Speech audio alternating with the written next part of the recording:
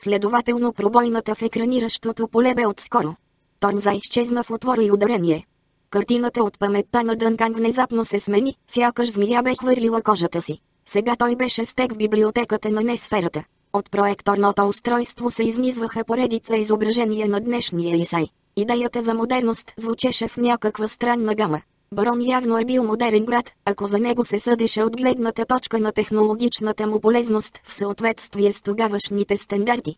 Бе разчитал изцяло на водещи лъчове с суспенсорна тяга за пренос на хора и товари, разположени във височина. Система, изпълнена с реални физически измерения на място, където всеки метър във вертикален и хоризонтален план е бил използван за всичко друго, но не и за придвижване на стоки и хора. В отворите за водещите лъчове бе предвидено само необходимото за преминаване на универсални транспортни средства пространство. Идеалната форма е на тръба с плосък покрив за кацане на топтери, отбеляза Тек. Харконите предпочитаха квадратните и правоъгълните форми вярно беше. Дънкан си спомняше барони с яснота, която го накара да потръпне. Суспенсорните трасета пронизваха града навсякъде като ходове на червей, прави, извити и изкусени под различни ъгли нагоре, надолу и в страни с изключение на абсолютно задължителната правоъгълна форма, наложена по прищявка на харконите, барони бе изграден в съответствие с специфичен критерий, съобразен с тукашното население, максимално запълване при минимален разход на материали. Плоският покрив е единственото правилно използване на наличното пространство от хуманна гледна точка в това проклето нещо. Бе казал веднъж той на Текило сила. Върху плоските покриви се намираха надстройките с караулни помещения по краищата, при площадките за топтери, при всички входове отдолу и около парковете. Хората, живеещи на върха, можеха спокойно да забравят за лудницата от плът, която се гърчеше неистово съвсем близо до тях. Никаква миризма или шум оттам не стигаше до обитаваните горе помещения. Прислужниците биваха принуждавани да се изкъпват и обличат дезинфекцирани дрехи. Защо струпаната на едно място човешка маса си е позволила да живее при условия, неприемливи за животни? Попита Тек. Не беше никак трудно да му се отговори и Дънкан го направи. Отвън дебнеха опасности. Градските велможи твърдяха, че там е по-страшно, отколкото бе в действителност. Впрочем малцина от затворените вътре знаеха нещо за по-хубав живот другаде. Единствено познатото им по-добро място се намираше тук, на върха, а пътят към него минаваше през унизително раболепие. Казаното ще стане и ти с нищо не можеш да му повлияеш. Ясно отекна друг глас в черепа на Дънкан. По? Помисли колко странно прозвучаха думите му. Високомерието на онзи, който знае предварително, приличаше на надменността на ментат, разположил се удобно в своята твърде крехка логика. До сега никога не съм си представил Пол като арогантен. Взря се в лицето си, отразено в огледалото. С част от разума си осъзна, че споменът е от времето преди да стане гола ударение. Отражателят се превърна изведнъж в друго огледало с неговото лице, но вече различно. Мургавата округленост бе започнала да се променя, приемайки по-огловати черти и по-твърдо изражение, типични за зрелостта. Погледна в очите си. Да, същите са. Веднъж бе чул как някакъв човек ги описва като заложени в пещера. Бяха вдълбани дълбоко под веждите и над високо изтеглените бузи. Казваха, че е трудно да се определи цветът им, тъмно-син или тъмно-зелен в зависимост от силата и ъгъла на осветяване. Думите бяха на жена. В момента не можеше да си спомни коя бе тя. Опита се да докосне косата си, но ръцете му отказаха да се подчинят. Спомни си, че бе обезцветявана. Кой го беше направил? А, да, една старица. Косата му вече не беше на ситни черни кадрици. Появи се доклето, загледан в него от вратата на трапезарията в Каладън. Сега ще похапнем, каза дукът. Повелена царствена особа, чието високомерие бе компенсирано от лека усмивка, съдържаща недвусмислено послание. Някой трябваше да го каже, какво става с моя разум. Припомни си, че последва Тормза, който му обеща да го отведе до мястото, където щеше да се състои срещата с некораба. Пред тях в нощта бе се извисила огромна сграда.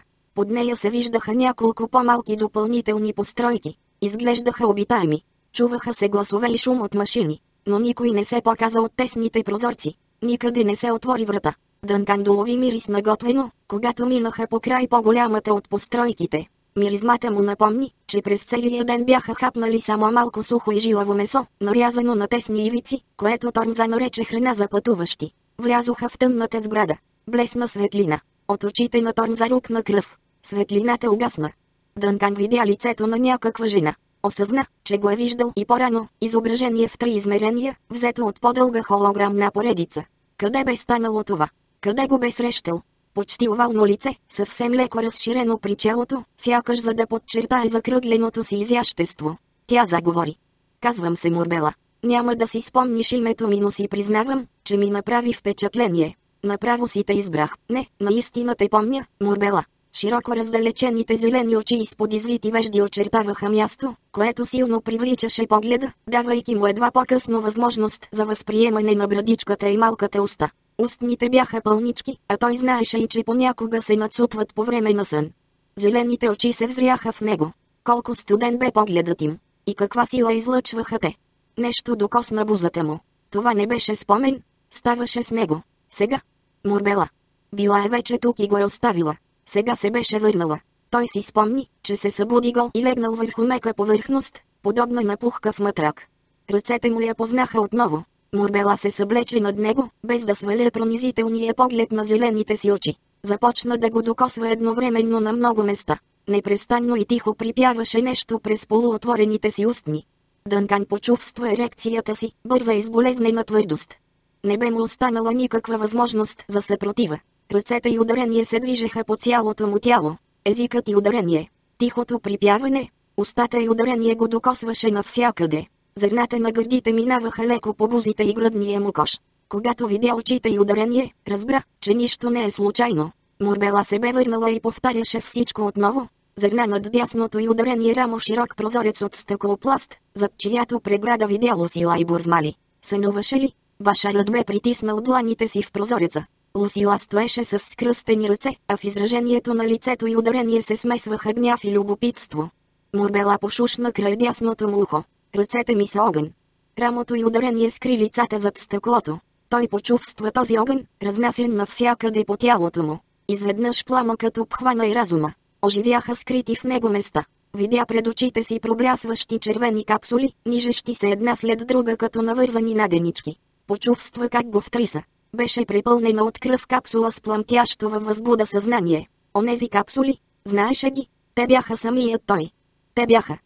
Всички дънка найдаховци, както оригиналът, така и серията от голи ударение, заляха в купом съзнанието му. Приличаха на разпукали се семенни котийки, отхвърлящи съществуването на друго, освен на самите себе си. Видя се смазан от огромен червей с човешко лице. Проклет да си, лето. Смазван и смазван, и смазван. Отново и отново.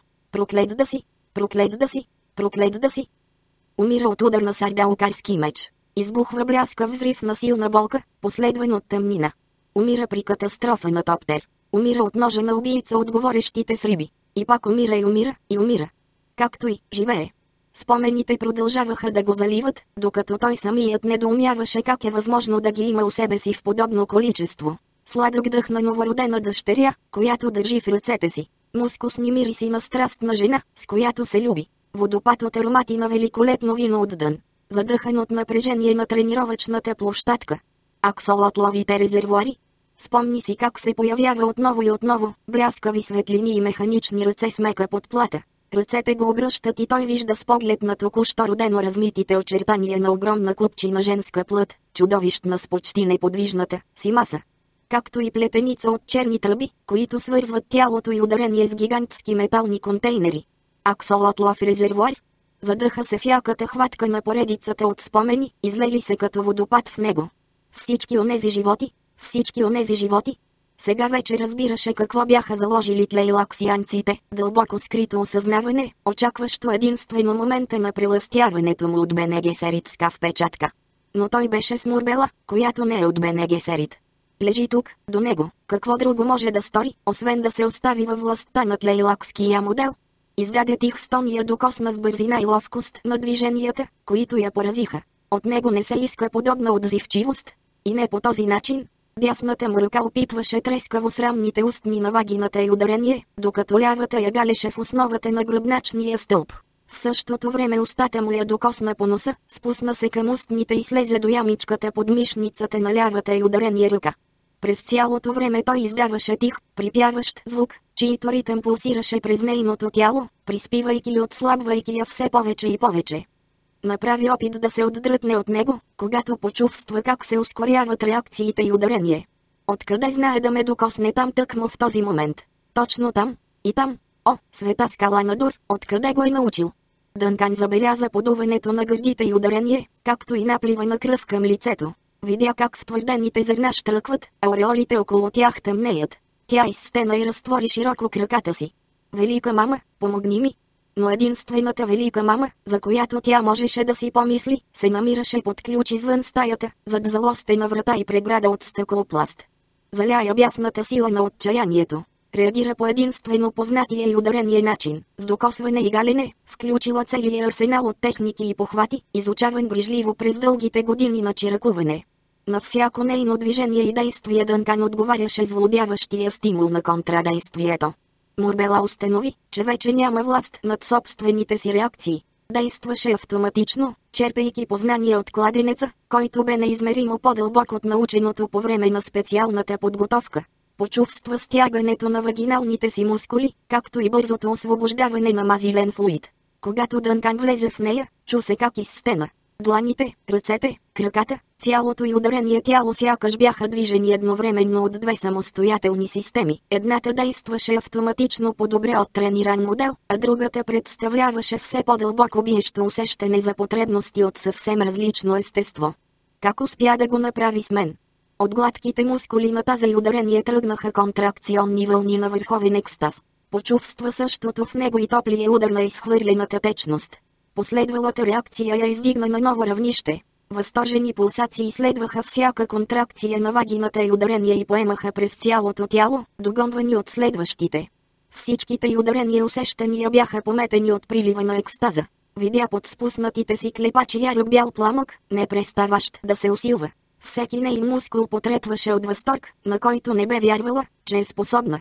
Вълните отново тръгнаха, стремейки се да напуснат плътта и ударение. Отново и отново. Отказа се да брои повторенията. Когато Дънкан изстена, тя го последва и вълните пак поеха, изтласквайки се една друга. И отново. Усещането за време изчезна, остана само поредното гмурване във възторга. В едно и също време тя искаше усещането да продължи вечно и да спре веднага, защото не трябваше да се случи на женския участник. Никоя почитаема мама не бива да го изживява. Подобни усещания бяха запазени за управление на мъжете. Дънкан излезе от модела на реактивно поведение, заложено него. Имаше още нещо, което трябваше да извърши, но не си спомняше какво бе то. Лусила. Въобрази си, че я вижда мъртва пред себе си. Ала жената тук не беше Лусила. Тя беше. Тя беше Морбела.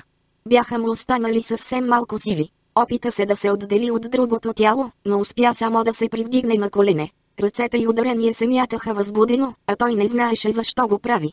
Морбела искаше да отблъсне Дънкан от себе си, но не го намираше. Очите и ударение се отвориха рязко. Гола ударенията стоеше на колене над нея. Нямаше никаква представа за изминалото време. Опита се да събере сили да седне, но не успя. Разсъдъкът и ударение бавно се връщаше. Погледна Дънкан в очите, вече знаейки кой трябва да бъде мъжът над нея. Мъж ли? Беше още момче. Но какви неща направи? Какви неща? Всички почитаеми мами бяха предупредени. Има гола ударение, въоръжен с забранено познание от лейлаксианците. Гола ударенията трябва да бъде убит. Тя усети лек прилив на сила в мускулите си. Повдигна се на лакти. Дишайки накъсано, се напрегна, за да се отърколи в страни от него, но падна обратно на меката повърхност. В името на светата скала на Дур, мъжът над нея не бива да остане жив. Той е гола ударение и владее умения, позволени единствено на почитаемите мами. Искаше да го удари и едновременно желаеше да го привлече обратно върху тялото си. Екстазът, знаеше, че каквото и да пожелае той от нея, в същия миг ще го изпълни. Да го направи за него. Не, трябва да го убия. Отново се повдигна на лакти, а после успя и да седне. Отслабналият и ударение поглед се спря на прозореца, зад който стоеше великата почитаема мама с водача си. Те още бяха там и я гледаха. Лицето на мъжа бе пламнало, а лицето на великата почитаема мама бе студено и безизразно като самата скала на Дур. Как може да стои там след всичко, което бе видяла в стаята? Великата почитаема мама трябва да убие гола ударенията. Мурбела кимна на жената зад стъклопластовата преграда и се претърколи към заключената врата до спалния матрак. Едва успя да я отвори, преди да падне отново. Погледът и ударение се спря на коленичилия юноша. Подблестеше по тялото му. По хубавото му тяло. Не. Отчаянието я накара да се отлепи от пода. След малко подпъхна единия си крак и се изправи с върховно усилие на волята. Силата и ударение започна да се връща, но мускулите още трепереха и тя залитна около единия ъгъл на матрака. Сама ще го направя, без да се замислям. Длъжна съм да го направя. Продължаваше да залита. Опита се да заеме стабилна позиция и се приготви за удар по врата му. Беше овладяла този удар след дълги часове на практически занимания. Щеше да размаже ларингса. Жертвата трябваше да умре от задушаване. Дънкан с лекота парира атаката и ударение, но се движеше бавно. Наистина бавно. Мурбела едва не падна до него, задържаха я ръцете на великата почитаема мама. Убий го, изпъшка Мурбела. За него ни предупредиха. Той е. Почувства ръце на тила си, които притиснаха с все сила нервните възли по душите. Последното, което чу, преди темата да я погълне, бяха думите на великата почитаема мама. Никого няма да убиваме. Гола ударението отива на Ракис. Най-острото съперничество за който и да е организъм може да дойде от себе подобните му. Видът консумира неща от жизнена необходимост. Растежът му се определя от наличието на най-малкото необходимо количество индивиди, а най-неблагоприятното условие пък регулира бързината на този растеж. Именно това е така наречения закон на минимума. Извроци от Аракис, сградата се намираше зад широк булевард, скрита от дървета и грижливо поддържани ивици жив плет, осипан с цветове. Ивиците бяха разположени по подобие на лабиринт с бели стълбове с височината на човешки ръст, които определяха границите на засадените площи. Всяко влизащо или излизащо превозно средство бе принудено почти да пълзи. Военният усет на тег веднага въведе въпросните особености в съзнанието му, докато блиндираната наземна кола още не бе стигнала до целта си. Фелдмаршал Музафар, единственият друг пътник в задната част на колата, се досети за преценката на Башара и поясни. Отгоре сме защитени с анфиладна лъчева система. Войник в маскировачна униформа и дълъг лазе стрел с ремък на рамото отвори вратата и застана мирно, когато Музафар излезе от колата. Тек го последва. Позна мястото. Беше един от сигурните адреси, предоставени му от специалните служби на БНГ Серит. Очевидно информацията на сестринството бе остаряла. Отскоро обаче, тъй като фелдмаршалът не загадна с нищо, че мястото може да е познато на спътника му. Когато минаваха през вратата, Тек забеляза, че другата защитна система, която бе видял по време на първия си оглед на Исай, стоеше непокътната. Имаше само едва забележима разлика в подредбата на стълбовете по продължение на участъците от дървета и жив плед. Тези стълбове всъщност представляваха сканлизери, а някъде в сградата се намираше и командна зала за тях. Съединителите им, оформени като знака Каро, прочитаха площта до сградата. При лек натиск на някой от бутоните в наблюдателната зала сканлизерите щяха да превърнат в безформени купчинки месо всяка жива плът, прекосила полетата им. Музафар спря при вратата и погледна към тек, преди да заговори. Почитаемата мама, с която ще се срещнеш след малко, разполага с най-голяма власт сред онези, идва ли тук. Не допуска нищо друго, освен пълно подчинение. Приемам го единствено като предварителна информация. Мислех, че ще разбереш какво ти казвам. Обръщай се към нея с почитаема мама. Това е всичко. Влизаме. Позволих си волността да ти поръчам нова униформа. При първото си посещение башарът не бе виждал стаята, в която сега го въведе Музафар. Малка и наблъскана с тиктакащи коти с черни стени, тя оставяше неголямо пространство за двамата. От тавана я осветяваше само един жълт светоглобус. Музафар остана свит въгъла, докато Тек съблече изпод цапания и омачкан полеви костюм от съединена горна и долна част, взет от не сферата. Съжалявам, но не мога да ти предложа баня, каза фелдмаршалът. Не бива да се бавим. Тя вече е нетърпелива. Облякал униформата, Тек изглеждаше съвсем друга личност. Беше познатата черна дреха, включително петлиците, пришити на яката. Следователно трябваше да бъде представен като башар на сестринството пред почитаемата мама. Интересно. Отново бе башар в истинския си вид, въпреки че силното му усещане за идентичност никога не го бе напускало. Все пак мундирът го допълваше и представяше. Наличието на подобно облекло го освобождаваше от необходимостта да подчертава с нещо кой е всъщност. Е, сега е по-добре, каза му Зафар. Той влезе заедно с Тек в преходно помещение през врата, позната на Башара. Да, тук се бе срещал с сигурните свръзки. Още тогава бе разбрал за какво е предназначена стаята. Всичко беше останало по-старому или поне така изглеждаше. Редици от микроскопични видеоочи минаваха по пресечната линия на тавана и стените, маскирани като сребристи водещи ленти на кръжащите светоглобуси. Наблюдаваният не вижда нищо, помисли тек. А наблюдателите гледат с милиарди очи. Двойното зрение му оповести, че съществува опасност, без още да е станала непосредствена. Стаята, дълга около 5 и широка 4 метра, беше място за бизнес с реши на високо равнище. Тук никога не се показваха пари. Хората можеха да видят само преносими равностойности на приетото за валута, меланж например, или млечно-бели камъчета с размера на очна ябълка и съвършена кръгла форма, едновременно блестящи и меки, преливащи в цветовете на дъгата в зависимост от ъгъла на осветяване и еластични при допир. Тук беше мястото, където чанта с меланж или малка кесия с подобни млечно-бели камъчета се приемаха за нещо съвсем обичайно. Цяла планета можеше да бъде разменена срещу равностойна цена, потвърдена само с кимване, примигване или промърморване с тих глас. Никога не се показваха портфейли или претъпкани чанти. Единственото напомнящо за тях можеше да бъде луксозно и много плоско куфърче, от чиято защитена с отрова вътрешност някой вадеше едва забележими поради тънкостта си листа хартия от ридолианов кристал, с изписани върху им много големи числа, които нямаше как да бъдат фалшифицирани. Това е банка, нали? Попита Тек. Какво? Музафар погледна към затворената врата на срещу положната стена, преди да отговори. О, да, ще влезе всеки момент. Сега ни наблюдава, разбира се. Фелдмаршалът не каза нищо, изражението му беше мрачно. Тек се огледа. Имаше ли някаква промяна след предишното му посещение? Не забеляза чувствителни изменения. Запита се дали подобни капища се променят осезаемо дори в продължение на хиляди и хиляди години, практически за цяла вечност. Подът бе застлан с килим, мек като гъш и пух и бял като кожата от към корема на кит. По него изкряха мними капчици влага, доловими единствено за зрението. Бос крак макар че тук никога не бе стъпвал такъв щеше да почувства съвсем слаба, топла и галеща сухота. Почти в средата на помещението се намираше тясна маса с дължина около 2 метра. Плотът и ударение беше 20 на милиметра дебел. Тек предположи, че е изработен от джакаранда от дън. Тъмнокафявата му повърхност бе полирана до блясък, който сякаш поглъщаше погледа, разкривайки в дълбочина жилки, подобни на речни разклонения. Около масата се виждаха четири стола, изработени от майстор за наятчия от същото дърво като това на самата нея. На мястото за сядане и на облегалката имаше оформени подобни на лира възглавнички в тон с полираното дърво. Само четири стола. С повече щеше да е претрупано.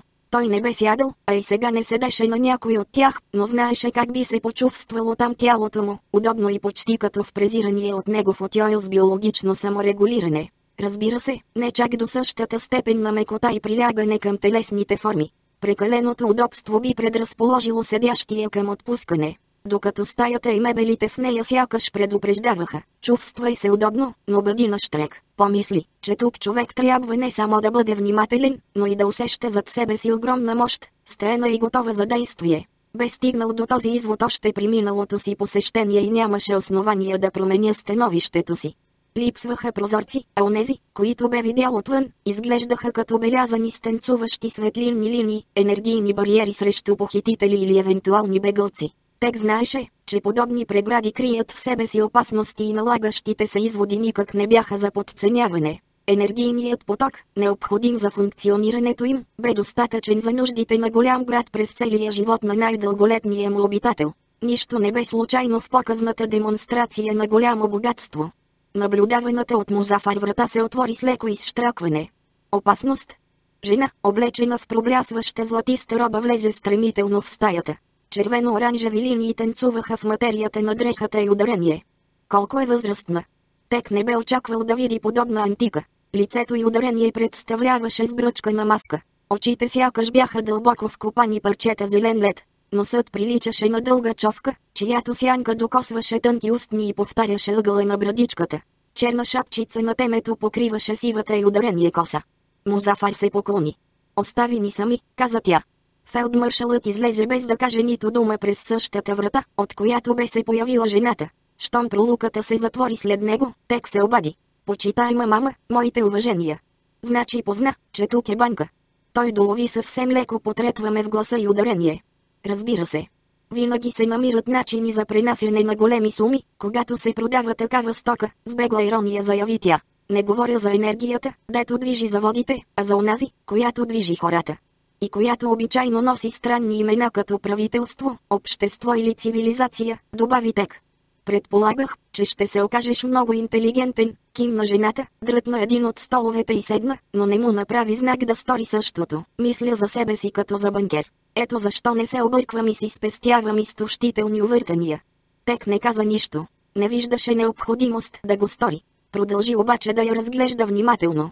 Защо ме гледаш по този начин? Попита тя. Не очаквах, че ще си толкова стара.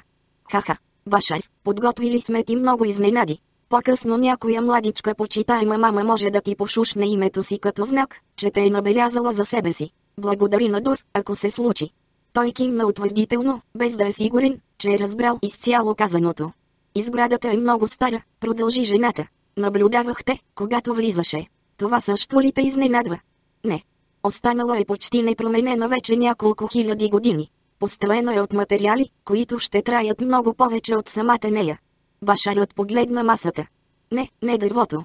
Под него има поластин, полас и пормабат. Никой не се присмива на трите пъта, когато нуждата ги изисква. Тек не каза нищо. Нуждата, повтори тя. Възразяваш ли срещу мерките, които трябваше да бъдат взети спрямо теб? Възраженията ми не са важни, рече той. Каква бе целта й? Да вникне в него? Същото искаше и той по отношение на нея. Мислиш ли, че другите са имали нещо против онова, което си им сторил? Без съмнение. Башар, ти си роден да командваш. Смятам, че ще бъдеш много ценен и за нас. Винаги съм бил убеден, че трябва да съм най-ценен за себе си. Башар, погледни ме в очите. Той се подчини, съзирайки ситни оранжеви петенца да преминават през бялото на очните и ударения ябълки. Усещането за опасност бе много силно. Пази се, когато очите ми станат напълно оранжеви, каза тя. Тогава ще си ме обидил извън възможностите ми да понасям повече. Съгласи се с кимване. Харесва ми, че имаш дарбата да командваш, но това не се отнася за мен. Може да го правиш само с. Ето какво възлагаме на хора като теб. Тори? Тя махна пренебрежително с ръка и каза. Онези отвън. Добре ги знаеш. Интересуват се единствено от дребни неща. Важните и съществени въпроси просто не могат да попаднат в обхвата на тяхното съзнание. Разбрах, че точно това имаше предвид. Правим необходимото, за да поддържаме нещата в установения порядък, продължи тя. Стигналото до тях преминава през слабо пропускащ филтър, който задържа всичко освен най-необходимото за оцеляване. Не виждам особено важни въпроси, каза Башарът. Явно се чувстваш засегнат, но няма значение, ухили се тя. Големият проблем за онези отвън е, ще ям ли днес? Имам ли подслон за нощта, където няма да ме нападнат хора или гадинки? Лукс, Луксът за тях се свежда до притежаване на дрога или пък на представител на противоположния гил, който за известно време може да притъпи острите проблеми, събрани в образа на звяр. А ти си звярът, помисли тек. Башар, отделям ти известно време, понеже виждам, че можеш да бъдеш за нас по-ценен дори от Музафар. А него наистина си го бива. Ето, в момента му даваме награда, че те е довел в добро състояние от гледна точка на отзивчивостта ти. Тъй като Тек запази мълчание, тя отново се подсмихна и добави. Да смятам ли, че не приемаш да си отзивчив? Башарът не отговори на въпроса и ударение. Дали не бяха сложили някакъв наркотик в сервираната му храна? Имаше раздвижване пред двойното му зрение, но заплахата от насилие бе отстъпила едновременно с изчезването на оранжевите петенца в очите на почитаемата мама. Все пак трябваше да следи краката и ударение. Те бяха смъртоносни оръжия. Всичко проистича от факта, че схващанията ти за онези, които аз наричам Тор, са погрешни, каза жената. За щастие те самите се ограничават във възможно най-голяма степен. Знаят го, защото е скрито в най-дълбоките недра на съзнанието им, но не могат да отделят време нито за него, нито за каквото и да е друго, с изключение на вездесъщото яростно боричкане в името на оцеляването. Не може ли да им се помогне? Попита той. Не трябва да им се помага. Да, погрижили сме се само осъзнаването им никога да не прехвърля границите на краткотрайно увлечение. Нищо значимо няма да се получи от това, разбира се. Още една луксозна подробност, от която са лишени.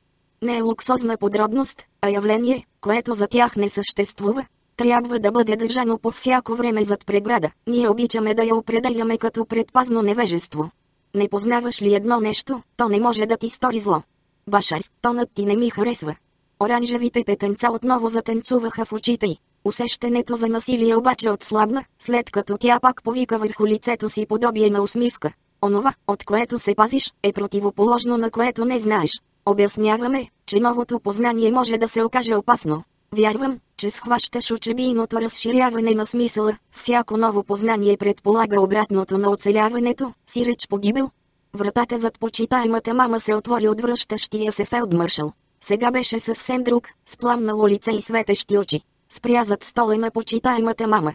Някой ден сигурно ще ти разреша да заставаш зад мен по този начин, каза тя. Разполагам с необходимата власт, за да го сторя. Какво са направили с Музафар? Запита се Тек. Мъжът изглеждаше почти дрогиран. Съзнаваш ли наистина, че имам власт? Попита тя. Влезлият се прокашля, преди да отговори. Видно е за всички. Нали не си забравил, че съм банкер? Току-що открихме влак на нашия преден Музафар.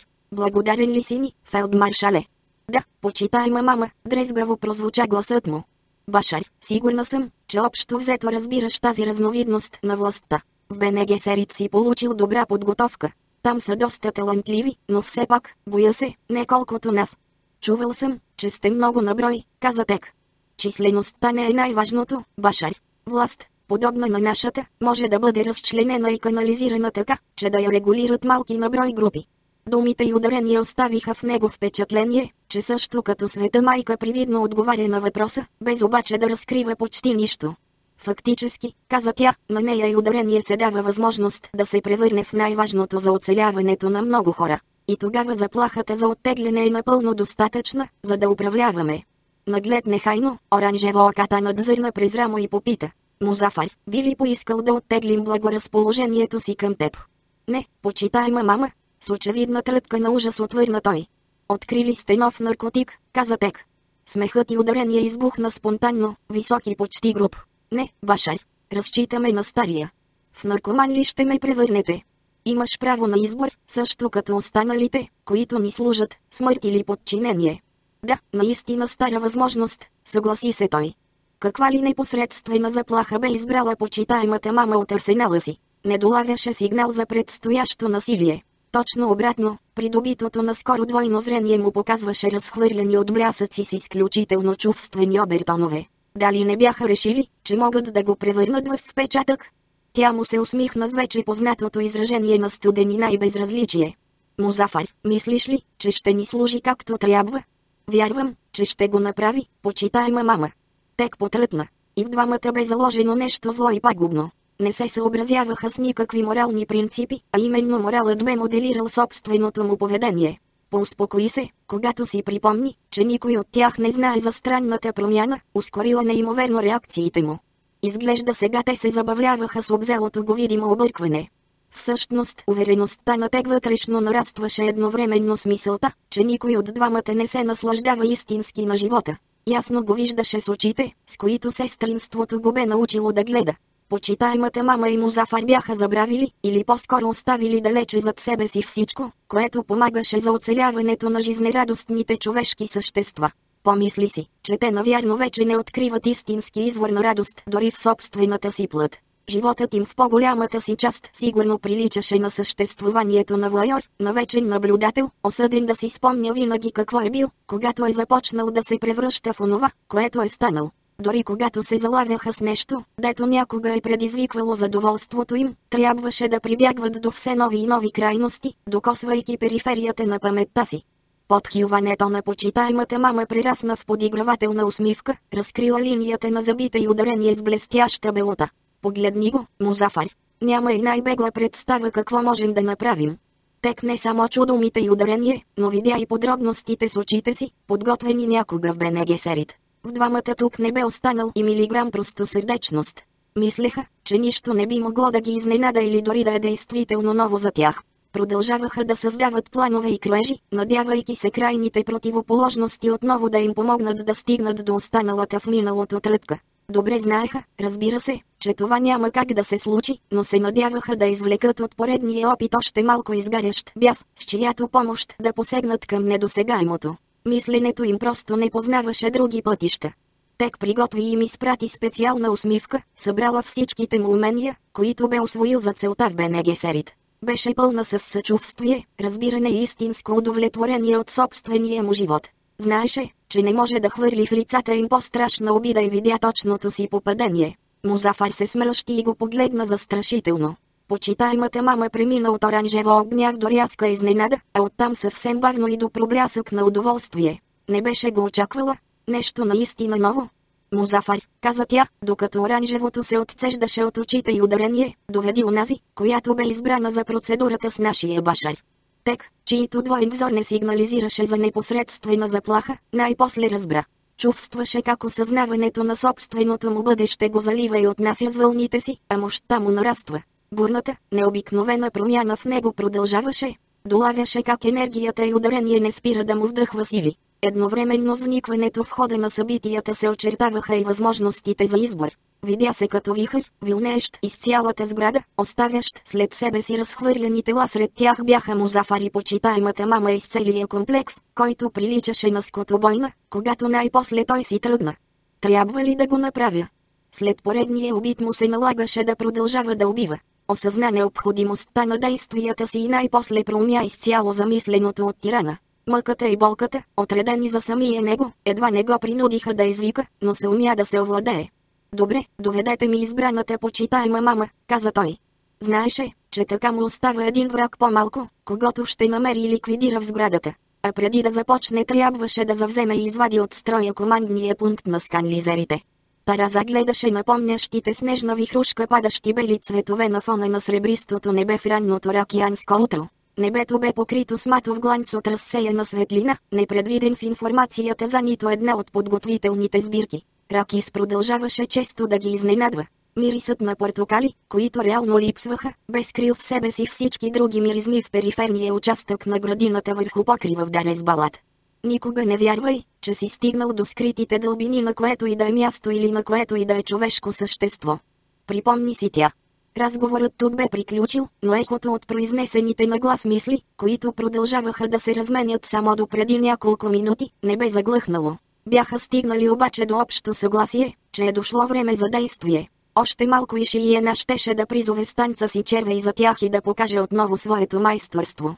Лафинов представител на жречеството щяха да присъстват на святото събитие, но Тараза бе сигурна, че никой от двамата не разбираше истинската същност на онова, което се канеха да наблюдават. Тлейлаксианецът не бе спирал да ги следи зорко, разбира се. Все още продължаваше да показва раздразнителното си недоверие към всичко и всички. Но под странната сплав на това поведение личеше страхопочитанието на човек, попаднал на Ракис. Въпреки това постоянният и очевиден катализатор на гнева му бе фактът, че тук управляват глупаци. Одрелди се върна от заседателната зала и застана до тараза. Донесенията от гаммо страшно ме безпокоят, рече старшата майка. Научи ли нещо ново? Не, явно там хаосът продължава. Дар, кажи ми, какво трябва да предприемем според теб? Продължавам да си повтарям думите на тирана към Ченой. В Бенегесерит са толкова близо до онова, което следва да направят, но същевременно и толкова далече. Тараза посочи към откритата пустиня отвъд каната на музейния град. Той е още там, дар. Сигурна съм, обърна лицето си към Одрелди. И Шиена му говори. Колко много лъжи са казани от него. Но не излъга за собственото си въплъщение. Припомни си думите му. Всяка наследила ме частица ще отнесе със себе си малко от моето съзнание, скрито в изгубените и безпомощни перлички, които тръгнаха от мен, за да скитат слепешком из пясъците, потънали в безкрайен сън. Много разчиташ на вярата си в силата на неговите бленувания, отбеляза Одрелди. Длъжни сме да възстановим изцяло всичко, замислено и започнато от тирана, до последното зранце. Другата света майка въздъхна, но не каза нито дума. Не подценявай силата на една идея, продължи Тараза. Атраидите винаги са управлявали като философи. А философията е опасна във всички времена, защото спомага за раждането на нови идеи. Одрелди все тъй мълчеше. Дар, червеят носи нещата в себе си, непокътнати са силите, приведени някога в движение от него и той продължава да ги владее. Тар, мен ли се опитваш да убедиш, или някой друг? Не те убеждавам, а те наказвам, дар също както тиранът, който продължава да наказва в синца ни. Защото не сме това, което трябва да бъдем ли? Ах, ето, Шиена идва с останалите. Дар, единственото важно нещо е езикът на червея. Щом го казваш ти, старша майко. Тараза погледна ядно към Одрейди, но тя в същия миг тръгна напред, за да поздрави новодошлите. Мрачното настроение на по-младата сестра бе ясно забележимо. Присъствието на Шиена възстанови до някъде душевното им равновесие. Малката жена Шиена, винаги на штрек, сякаш внушаваше усещане за успешен край. Великолепен природен материал. Предишната вечер тя бе танцувала в огромната зала на музея на фона на Гоблен, екзотичен танц на не по-малко екзотичния заден, план на изработеното от нишки на подправката платно, пресъздаващо пустиня и червей. Момичето изглеждаше едва ли не като част от гоблена, фигурката и ударение изпъкваше пред стилизираната картина на дюните и майсторски предадените подробности по телата на профучаващи по край тях чудовища. Тараза си спомняше как тъмната коса на Шиена политаше в страни при всяко нейно движение, описвайки неясно очертана дъга при многобройните завъртания в танца. Идващото отстрани осветление подчертаваше червеникавите отблясъци на косата и ударение. Очите бяха затворени, но лицето не изразяваше покой. За обхваналото я вълнение свидетелстваше недвусмислено страстната линия на широката и ударения уста, потрепването на ноздрите, рязко издадената напред брадичка. Движенията и ударение говореха за душевна изтънченост на контрастния фон на младостта. В танца е скрит езикът ти, бе помислила Тараза. Одрелди се оказа права. Ще го научим, докато го съзерцаваме. Днес сутринта Лав, изглежда, отново се бе уединил в себе си. Трудно бе да се каже дали очите му гледаха навън, или бяха обърнати към вътрешния му мир. Слав беше Тулушан, мургав хубавец от Ракис, избран като представител на жречеството за святото събитие. Тараза го видя на снощното изпълнение на танца и веднага и ударение направи необичайно впечатление фактът, че на Тулушан май никога не му се налага да казва но, защото тази думичка присъстваше във всичко, изречено от него. Безупречен бюрократ. Справо очакваше да стигне далеч, ала надеждите му скоро щяха да се натъкнат на неочаквано голяма изненада. Тя не изпитваше никакво съчувствие към него, знаейки какво му предстои. Тулушан беше младок с мекошав характер и прекалено размити критерии, за да му се гласува доверието, което беше необходимо за висотата на подобен пост. Впрочем нищо чудно и да не беше толкова елементарен колкото изглеждаше. Лав отмина в страни в градината, като остави Одрелди и Шиена с спътника си. Всичко можеше да стане и без младия жрец, естествено. Така до голяма степен бе обяснен изборът му. Според Тараза бяха стигнали до развитие на нещата, благоприятно за евентуално избухване на насилие. Обаче самата старша майка мислеше, че никоя от фракциите в жреческото съсловие не ще се осмели да стори зло на Шиена. Ще стоим близо до момичето. След демонстрацията на сексуалните постижения на курвите се проточи дълга и напрегната седмица. И много тревожна, ако искаше да бъде по-точна. Одрелди бе погълната от работата си с Шиена.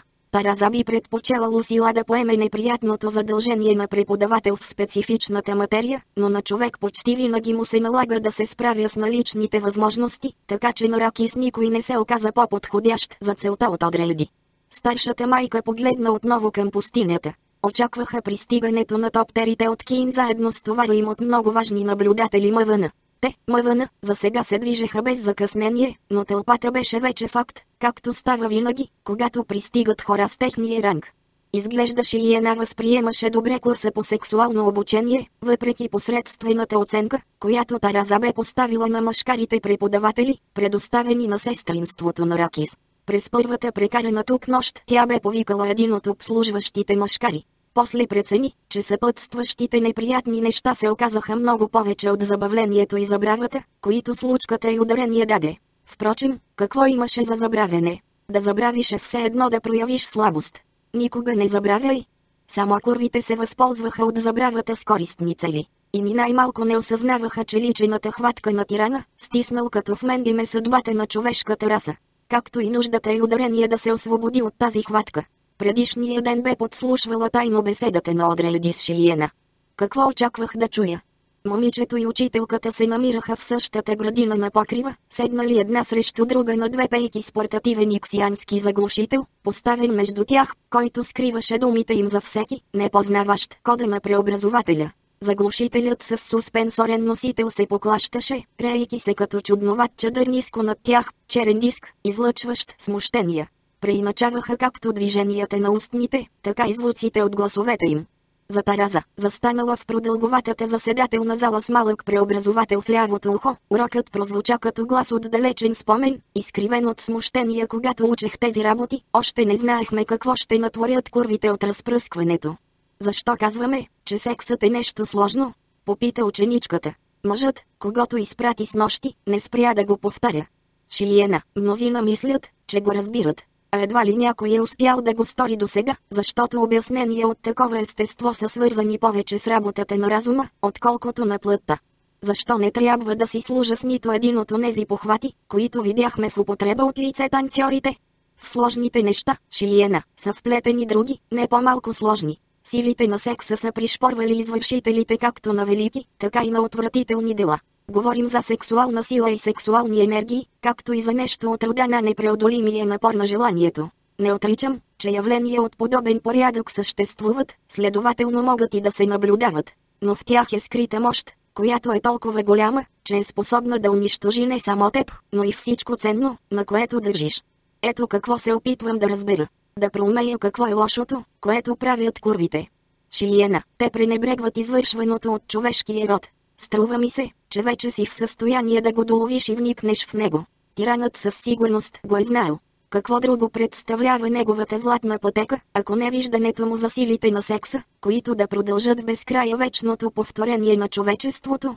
А курвите не го ли правят? Не. Най-много стигат до опита да държат в ръцете си световете, овладени от тях с помощта на тази сила. Изглежда, че е така. Да, но какви ответни реакции предизвикват те срещу себе си? Не разбирам. Нали вече знаеш за гласа и как с негова помощ може да се установи власт над някои хора? Но не над всички. Вярно е. Представи си, че една цивилизация бива подложена много дълго време на въздействието на гласа, тя постепенно ще привикне към силата му и така ще се стигне до прекратяване на по-нататъчни манипулации с негова помощ. Следователно има хора, които знаят как да се противопоставят на курвите.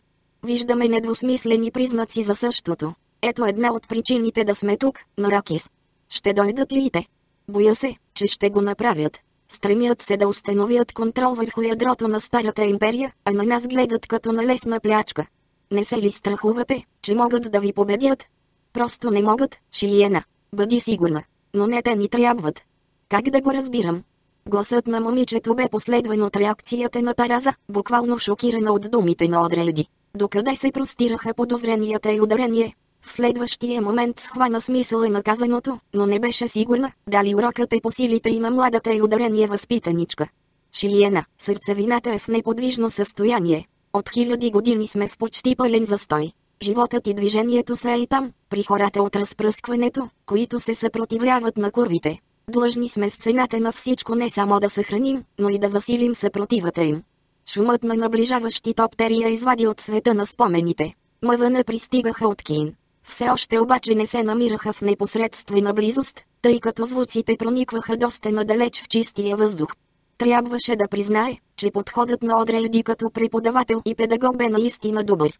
Помисли го, докато оглеждаше небосклона, търсейки първия топтер. Очевидно летяха ниско и идваха от към другата страна на сградата. Подстъпът им бе погрешен, но по всяка вероятност се бяха отклонили смъвана за кратък оглед на руините от стената на тирана. Много хора не скриваха любопитството си към местата, където светата майка Одрелди бе открила съкровището с подправката. Шиена, Одрелди, Лаф и Тулушан се върнаха в голямата зала за срещи. Те също бяха чули шума на топтерите. Момичето бе нетърпеливо да демонстрира властта си над червеите. Тараза продължаваше да се колебае. Нещо в звука на наближаващите топтери подсказваше затруднено движение. Дали бяха претоварени? Много ли наблюдатели пристигаха с тях? Първият летателен апарат рязко се въздигна над покривната надстройка и тя видя бронираната кабина на пилота. Долови измяната още преди първият лъч да припламне от машината и да среже двата и ударения крака под коленете. Строполи се тежко върху някакво дърво, засадено в кашпа. Краката и ударение бяха напълно отделени от тялото. Втори лъч се стрелна към нея, поразявайки я косо в хълбука. Топтерът прелетя над главата и ударение с внезапен рев на бустерните двигатели и направи вираж вляво. Тараза се вкопчи в дървото, като отпрати в страни изгарящата болка. Успя да прекъсне по-голямата част от кръвотечението. Да, болката беше почти непоносима, но все пак малко по-слаба от агонията при теста с подправката, спомни си тя. Мисълта и ударение помогна до някъде, макар да знаеше, че е обречена. Чувикове и много звуци, свидетелстващи за насилие из цялата музейна сграда. Спечелих, помисли старшата майка. Одрейди излетя от надстройката и след миг се приведе над нея. Не размениха нито дума, но по-младата показа, че е разбрала всичко, като доближи челото си до слепоочието на другата. Движението и ударение беше дошло от древността подсещане, възприето в Бенегесерит. Тараза започна да прелива в Одрелди целия си живот, другите памети, надеждите, страховете. Всичко и до край. Една от двете все още можеше да се спаси. Шиена наблюдаваше от надстройката, където и ударение бе наредено да чака. Тя много добре разбираше какво става отвън, в градината върху покрива. Там сега се разиграваше върховната мистерия на Бенегесерит и всяка послушница знаеше за нея. Лаф и Тулушан, излезли от залата в самото начало на атаката, не се завръщаха. Момичето потръпна от лошо предчувствие. Одрелди рязко се изправи и притича обратно в покривната надстройка. Бясна ярост строеше от очите и цялото й ударение лице, но движенията и ударение бяха подчертано целенасочени. Подскачайки нагоре, тя засъбира светоглабуси като ги държеше за захранващите проводници. Тикна няколко наръча в ръцете на Шиена и девойката почувства как тялото и ударение олеква благодарение на техните суспенсорни полета. Наставничката и ударение повлече след себе си още светещи кълба и забърза вън от обстрелното поле на нападателите към тесния край на залата, където на стената се виждаше решетка, тя очевидно бе нейната цел. Шиена и ударение помогна да я повдигне от жлебовете, за една дълбока шахта въздуховод. На светлината на бледо-жълтите снопове се мержелееха груби вътрешни стени. Когато кълбата са близо до теб, полето им е с максимален ефект, обясни Одрелди. Отдалечиш ли ги от себе си, започваш да се спускаш надолу. Тръгвай. Шиена стисна шнуровете в потната си ръка и отскочи над перваза на отвора в стената. Почувства, че пада и страхливо придърпа кълбата по-близо до себе си. Идващата отгоре светлина и ударение показа, че Одрелди я следва. На дъното излязоха в помпено помещение. Шепотът на голям брой вентилатори тук беше фон за звуците на погром и насилие, идващи отвън. Трябва да стигнем до не стаята, а оттам до пустинята, каза Одрелди. Залите на всички машинни системи са свързани помежду си, така че има откъде да се мине. Тя мъртва ли е? Прошепна Шиена. Да. Горката старша майка. Шиена, сега аз съм старшата майка. Поне временно. Ослуша се и посочи нагоре. Нападението на курвите продължава. Трябва да бързаме. Кои са тези живи, чието е светът? От тъмното посегнахме към бялата плина. Тя беше вятърът, поел ме в своя път. Далеч от утрото, умирах в тяло на жена. Презрял плътта, човек духа познава, изгрейналото слово всичко засилва. Теодор Йотке, исторически цитати, Дарес Балат, съвсем малко осъзната решителност беше нужна на тек, за да се превърне отново в опустошителен смерч. Бе се умял да вникне най-сетне в самата същност на заплахата, идваща от почитаемите мами. Разбулването на истината намери мястото си в все още неясните контури на изискванията към него, проистичащи от новото му съзнание на ментат, което се движеше с непрестанно повишаваща се скорост. Чудовищната опасност му наложи да вземе подобаващи контрамерки. От всякъде плисна кръв и продължи да го облива, докато той обикаляше из сградата на главната квартира, оставяйки мъртъв след себе си всеки срещнат. Преподавателите в БНГ Серит го бяха научили, че основният проблем в Вселената на човешките същества се заключава в подходящия контрол върху създаването на потомство. Продължаваше смъртоносното претърсване на сградата, заслушан в гласа на първия си учител. Можеш да го възприемеш и като сексуален подход, но според нас за предпочитане е един по-общ термин – създаване на потомство. Той притежава множество страни и разклонения и очевидно безгранична енергия. Чувството, наричано отворена двойна ъглова скоба любов затворена двойна ъглова скоба, е само един от по-незначителните му аспекти. Премаза гърлото на някакъв мъж, изпречил се на пътя му и най-после намери контролната зала на защитните системи. Тук бе останал само един човек, седнал пред контролното табло. Дясната му ръка вече почти бе натиснала червения бутон. С разсичаща длан тек едва не го обезглави. Тялото му се строполи назад с забавено движение, а от зайналото гърло избликна кръв. Сестринството с пълно право ги нарича корви. Човешкият род можеше да бъде тласнат и завлечен къде ли не с умело манипулиране на огромната енергия, движеща размножителния процес. Хората щяха да бъдат подтиквани към дела, които никой не би приел за възможни. Един от преподавателите му бе казал в прав текст, за тази енергия задължително трябва да се намери отдушник. Затвориш ли я, става чудовищно опасна. Пренасочи я и тя ще помете всичко по пътя си. Ето я върховната тайна на религиите. Когато излезе от сградата, Башарът осъзна, че е оставил повече от 50 мъртви тела след себе си. Последната жертва беше войник в маскировачна униформа, застанал пред отворената врата на входа. Той, за лош късмет, тък му влизаше. Докато тичаше по край привидно неподвижни хора и превозни средства, те върна обратно лентата на съзнанието си. Запита се дали би могъл да намери утешение в факта, че последното изражение по лицето на старата почитаема мама, все още жива, бе на истинска изненада. Би ли могъл да се поздрави с равносметката, че Музафар никога вече няма да види своето дърводом? За човек, подготвен в БНГ Серит, бе съвсем лесно да осъзнае принудата, накарала го да извърши всичко само за няколко удара на сърцето. Познаваше миналото си. В Старата империя имаше много райски планети, още повече бяха те за онези, поели с разпръскването. Изглежда хората винаги са обичали да се захващат с глупави експерименти. Тамошните люди просто се чудеха с какво да запълват времето си, прекарвано предимно в безделие. Един бърз, но значителен по обем анализ показваше, че основната причина е благоприятният климат на планетите. Той осъзнаваше вредността на подобна предпоставка, която позволяваше твърде лесното освобождаване на сексуална енергия от страна на тамошните обитатели. Дайте възможност на мисионерите на раздвоения блок или на друга идея, принадлежаща към някое вероисповедание, да проникнат в места с райски климат, и жестокият конфликт е повече от сигурен. В сестринството го знаем, бе посочил един от преподавателите му.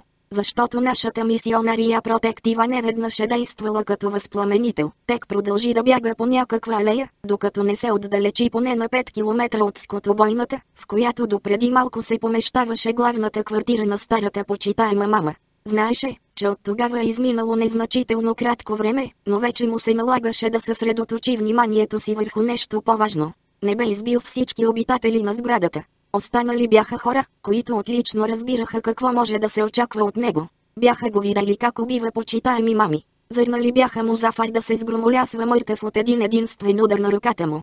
Купчината трупове и забавеното връщане на направените записи щяха да разкрият всичко. Той се облегна на стар, праша салзит. Парче кожа бе откъснато от лявата му длан. Остави се да бъде върнат в нормалния ход на времето, докато гледаше как кръвта сълзи от раната. Беше много тъмна, почти черна. Повече кислород в кръвта ми. Все още дишаше тежко, но не толкова, колкото би трябвало да бъде след продължителните усилия. Какво стана с мен? Знаеше, че нещата са свързани и с атраитското му потекло.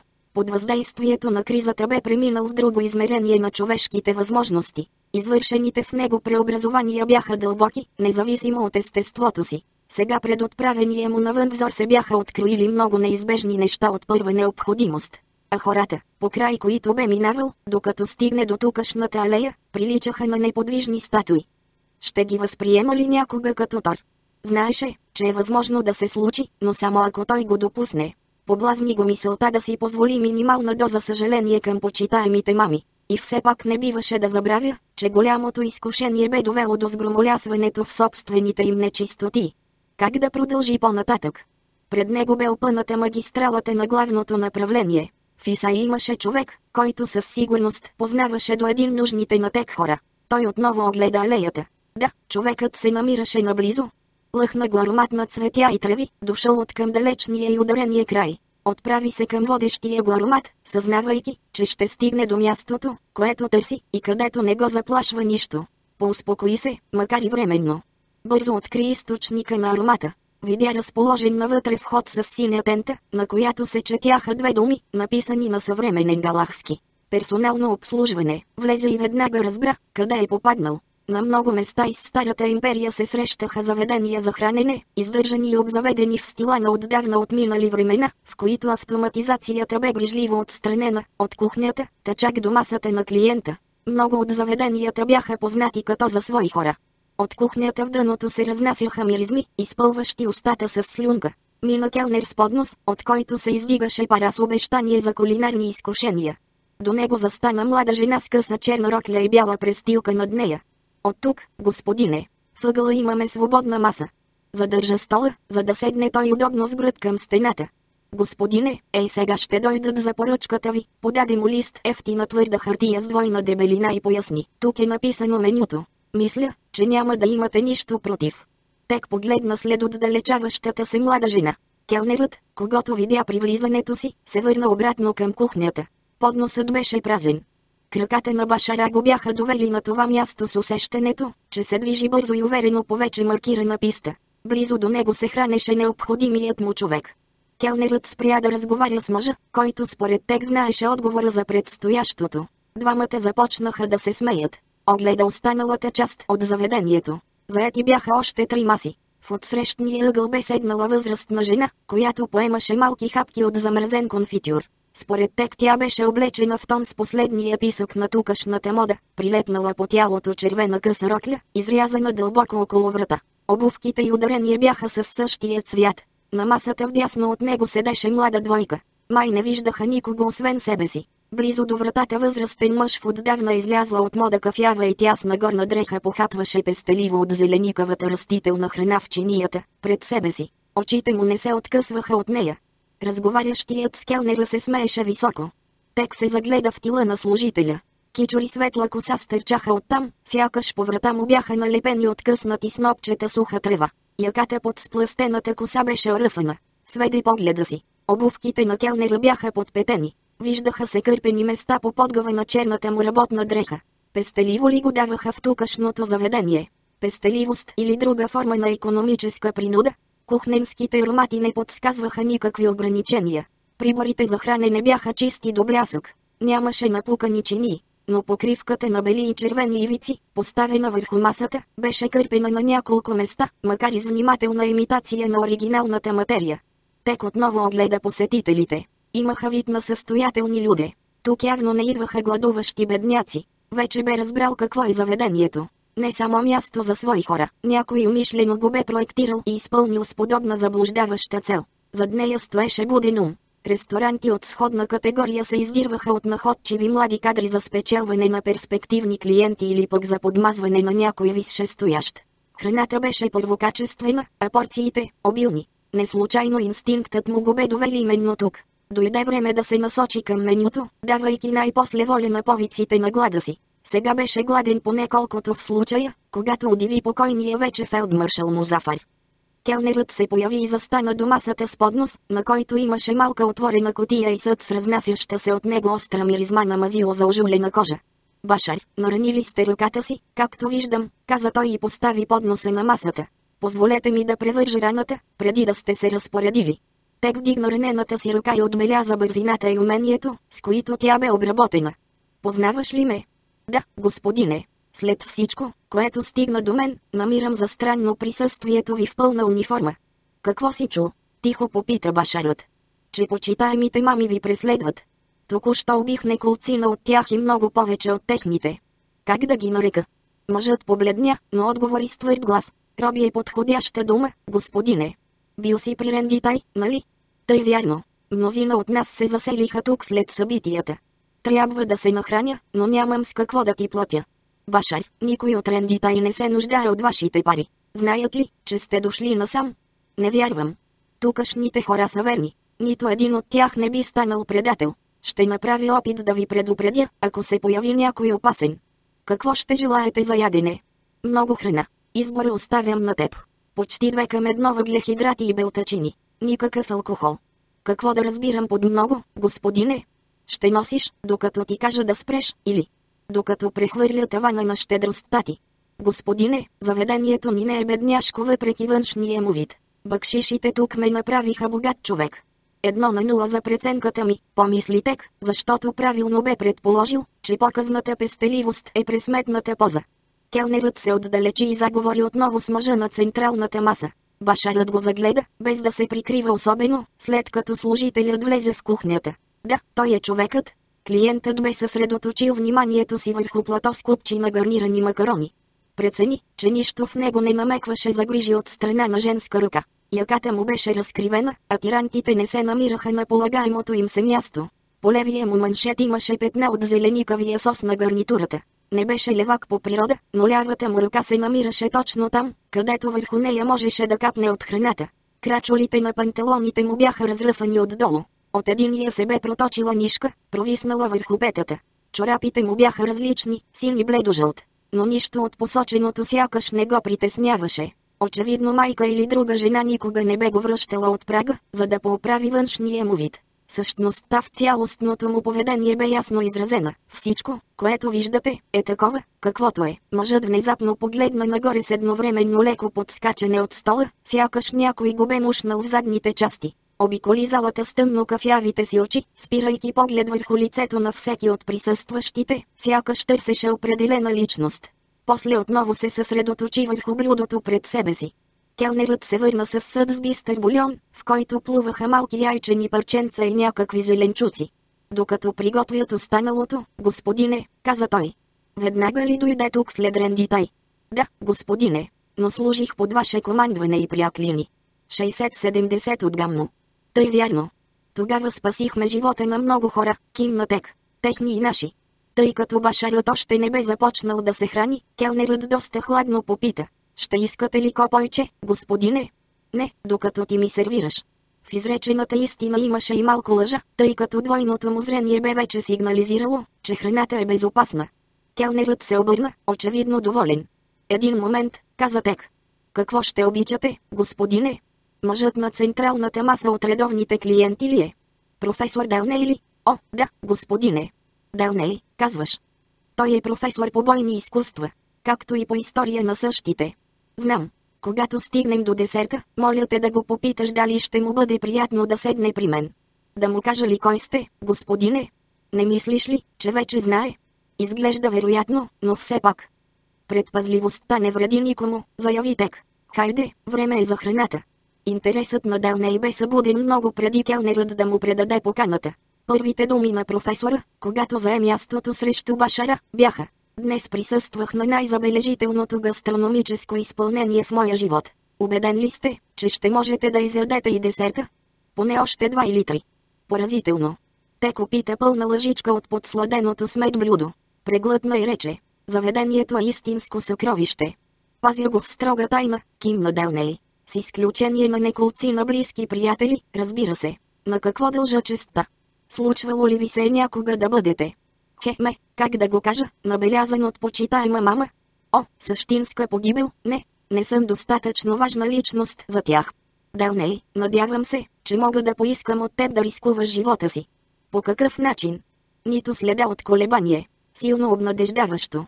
В Исаи има място, където се събират мои стари войници. Искам да отида там и да видя колкото е възможно повече.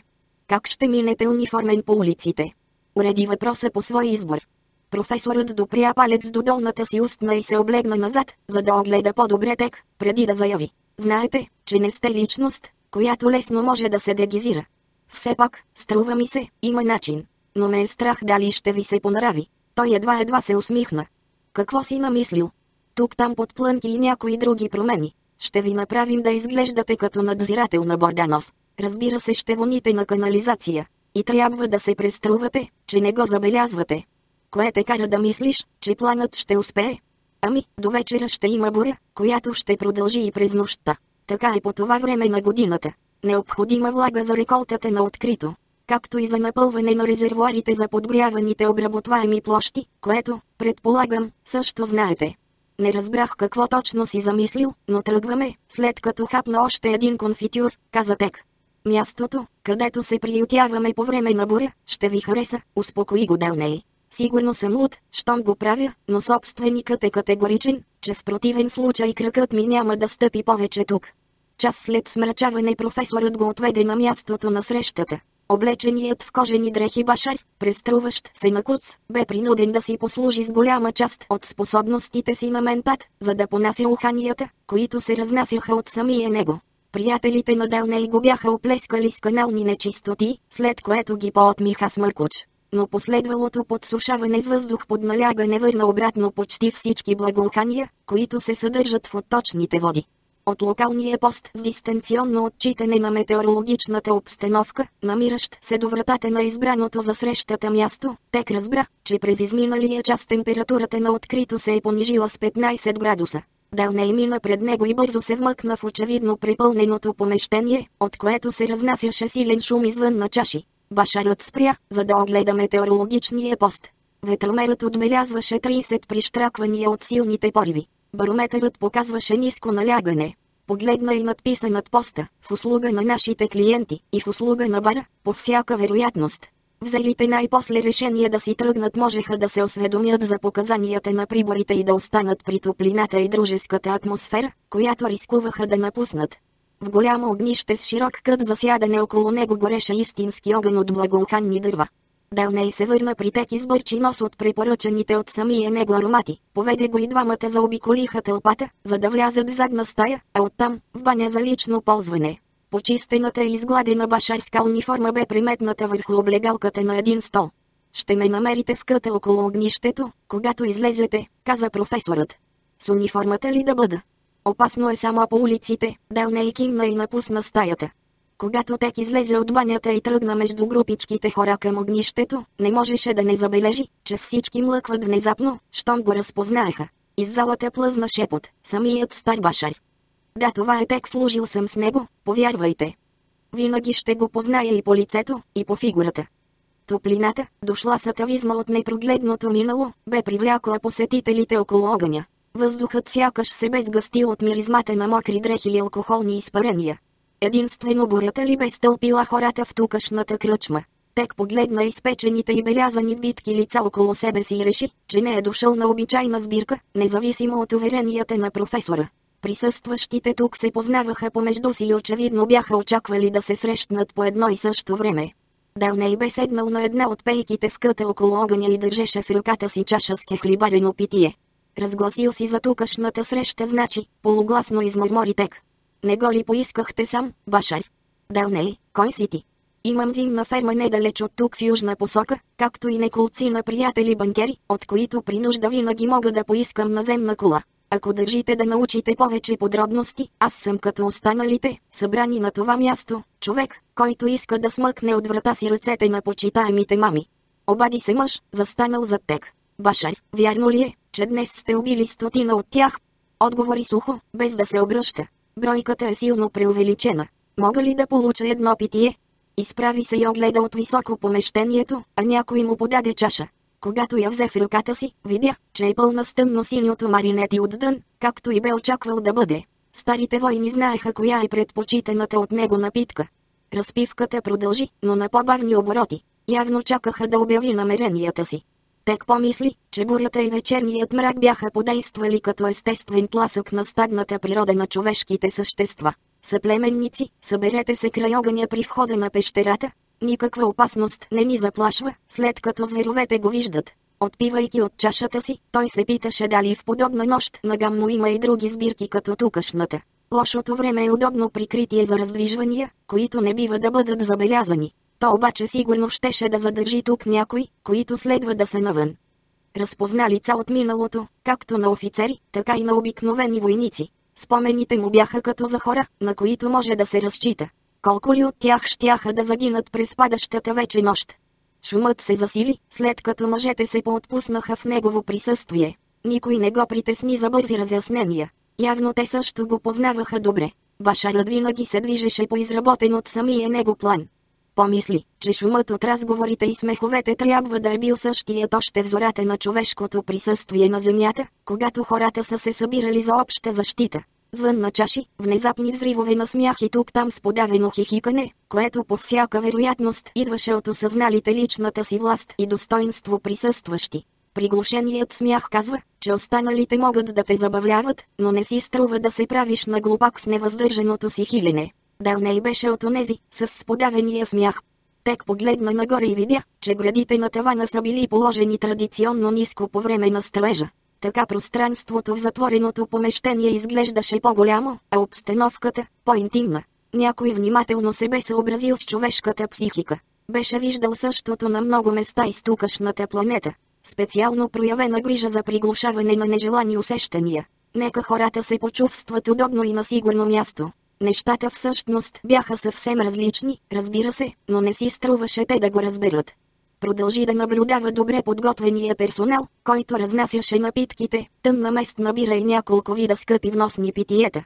По дължината на бара и върху меко осветените маси бяха поставени хрупкави зеленчуци с пикантен вкус. Никой не показваше, че се чувства обиден и засегнат от очевидното подканяне да отоли по-бързо жаждата си. Беше редно това да се очаква при подобен род занимания. Бирата също трябваше да бъде по-своему пикантна и леко резлива. И винаги беше. Пивоварите знаеха как да се погрижат за пресъхнали гърла. Някои групи полека-лека ставаха по-шумни. Древната магия на пиенето вече си казваше думата.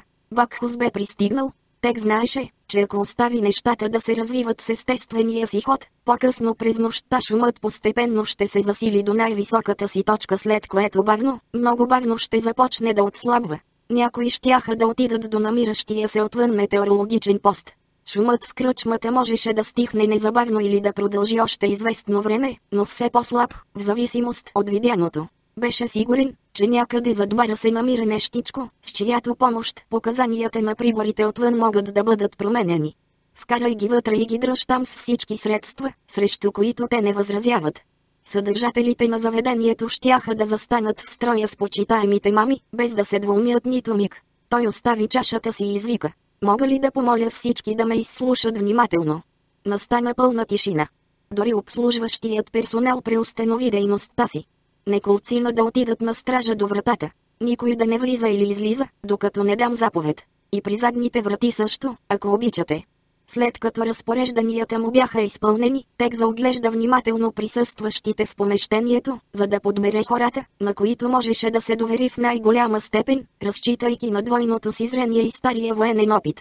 Вече си бе изяснил какво предстои да бъде направено. С периферията на новото си съзнание виждаше намиращите се някъде отвън Бурзмали, Лусила и Дънкан, които очакваха необходимите действия от негова страна.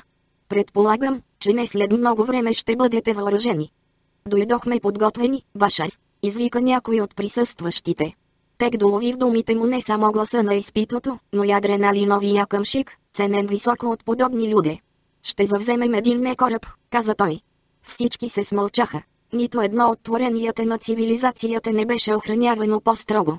Тези кораби се приземяваха на специални писти или на други внимателно подбирани терени, а после отлитаха. По цялата им бронирана повърхност стърчаха оръжия. Екипажите им се намираха в непрекъсната бойна готовност на подходящи за целта места. Може би щяха да успеят единствено с някаква военна хитрост. Директният штурм не им обещаваше нищо добро. Но Тек, пришпорен сега от нуждата и от неистовите си атраитски гени, бе придобил нови усещания, които доскоро съзнанието му не познаваше. Виждаше разположението на не корабите, кацнали или намиращи се в орбите около гамно. Пред вътрешния му взор те проблясваха като изкрящи точици свързани една с друга, а двойното зрение му помагаше да се ориентира в лабиринта на бойната обстановка. Ох, как не ми се тръгва, помисли той. Но не можеше ла отрече, че събираното цял живот сега го подтикваше към незабавни действия. За да бъде по-точен, ще завземем не кораб от разпръскването. Разполагат с някои от най-добрите образци. Ти и ти и ти, тек посочи неколцина от вече подбраните. Оставате тук и не пускате никой да излезе или да установи връзка с неприсъстващи в заведението. Мисля, че ще ви нападнат. Дръжте се до край. Другите да се въоръжат. Тръгваме.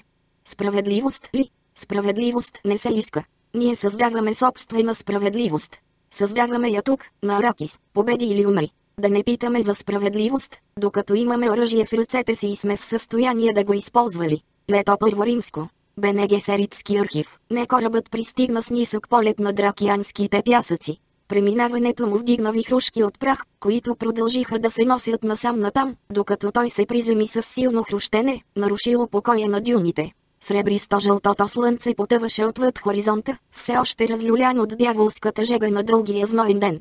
Не корабът се установи на място, блестящо стоманено кълбо, видимо за сетивата, но скрито както за всеки отправен в бъдното поглед, така и за приборите с далечен обхват на действие. Двойното зрение увери тек, че чужди очи не са забелязали пристигането му. До не повече от 10 минути искам да излязат блиндираните топтери и коли, разпореди се той. Хората зад него веднага се заловиха да изпълнят заповедта. Башар, сигурен ли сте, че са тук? Гласът беше на доверен офицер от Гамно, чието настроение вече не се определяше от възпоменанията за трепетите на младостта. Бе видял смъртта на множество стари приятели. Подобно на повечето от оцелелите, и той бе напуснал семейството си, без да знае нищо за съдбата на своите близки. В гласа му прозвуча горчива нотка, сякаш правеше опит да убеди себе си, че е вкаран с измама в рискованото начинание. Скоро ще бъдат, отвърна тек. Ще пристигнат, яхнали червей. Откъде знаете? Всичко е уредено предварително. Той затвори очи.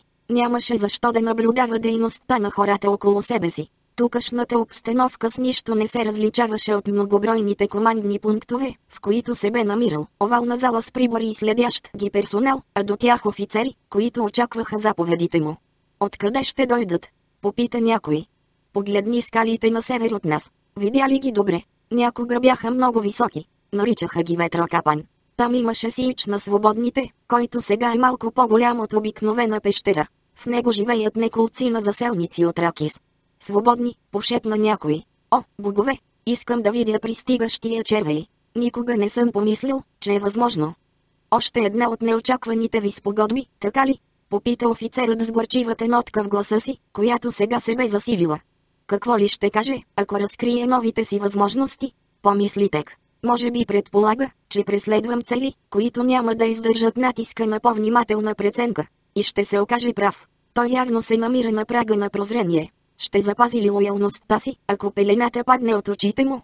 Поклати глава с жест на отрицание. Офицерът нямаше почти никакъв шанс. Впрочем пред никого от тях не се откриваше нещо повече от възможността да се бият и да умрат. Внезапно бе овладян от мисълта, че спогодбите за уреждане на конфликти предполагат въвеждане в заблуда на големи маси от хора. Колко лесно беше да застанеш на позицията на почитаемите мами. Тор. Превързването на очите не беше толкова трудно, колкото предполагаха някои. Повечето хора искат да бъдат водени. Онзи офицер също го искаше. Силни стадни инстинкти или пък мощни извънсъзнателни стимули бяха причината. Когато започнеш да разбираш с каква лекота те манипулират, естествената ти реакция е да потърсиш изкупителни жертви. Да, офицерът търсеше изкупителна жертва, сега. Бурзмали настоява да ви види, обади се някой вляво от тек. Още не. Можеше да почака. Съвсем скоро щеше да започне първият му ден на командващ. Междувременно в момента той отвличаше вниманието. По-късно щеше да има достатъчно време, за да се доближи опасно до ролята на изкупителна жертва. С каква лекота се набелязваха такива жертви и с каква лекота биваха приемани. Беше особено типично за случаите, когато единствената альтернатива е да видиш себе си като виновник или глупец, или пък и двете заедно. Искаше да каже на заобиколилите го, внимавайте за превръзката на очите си, така ще разберете истинските ни намерения. Офицерът за свръзка вляво от него каза, онази света майка сега е сбурзмали. Тя също настоява да влезе и да ви види. Кажи на Башара да се върне при Дънкан и да остане там, нареди тек. И да провери дали Мурбела не представлява опасност. Лусила може да влезе. Трябваше, помисли той. Подозренията на впечатката за настъпилите в него промени продължаваха да се засилват. Една света майка не можеше да не долови разликата. Лусила буквално влетя, силно шумящите и ударения дрехи подчертаваха обзелото я вълнение. Беше ядосана, но умело го прикриваше.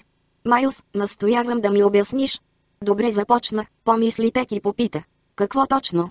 Защо не влязохме в защото почитаемите мами и тлейлаксианските им приятелчета от разпръскването държат в ръцете си повечето от централните възли на Ракис.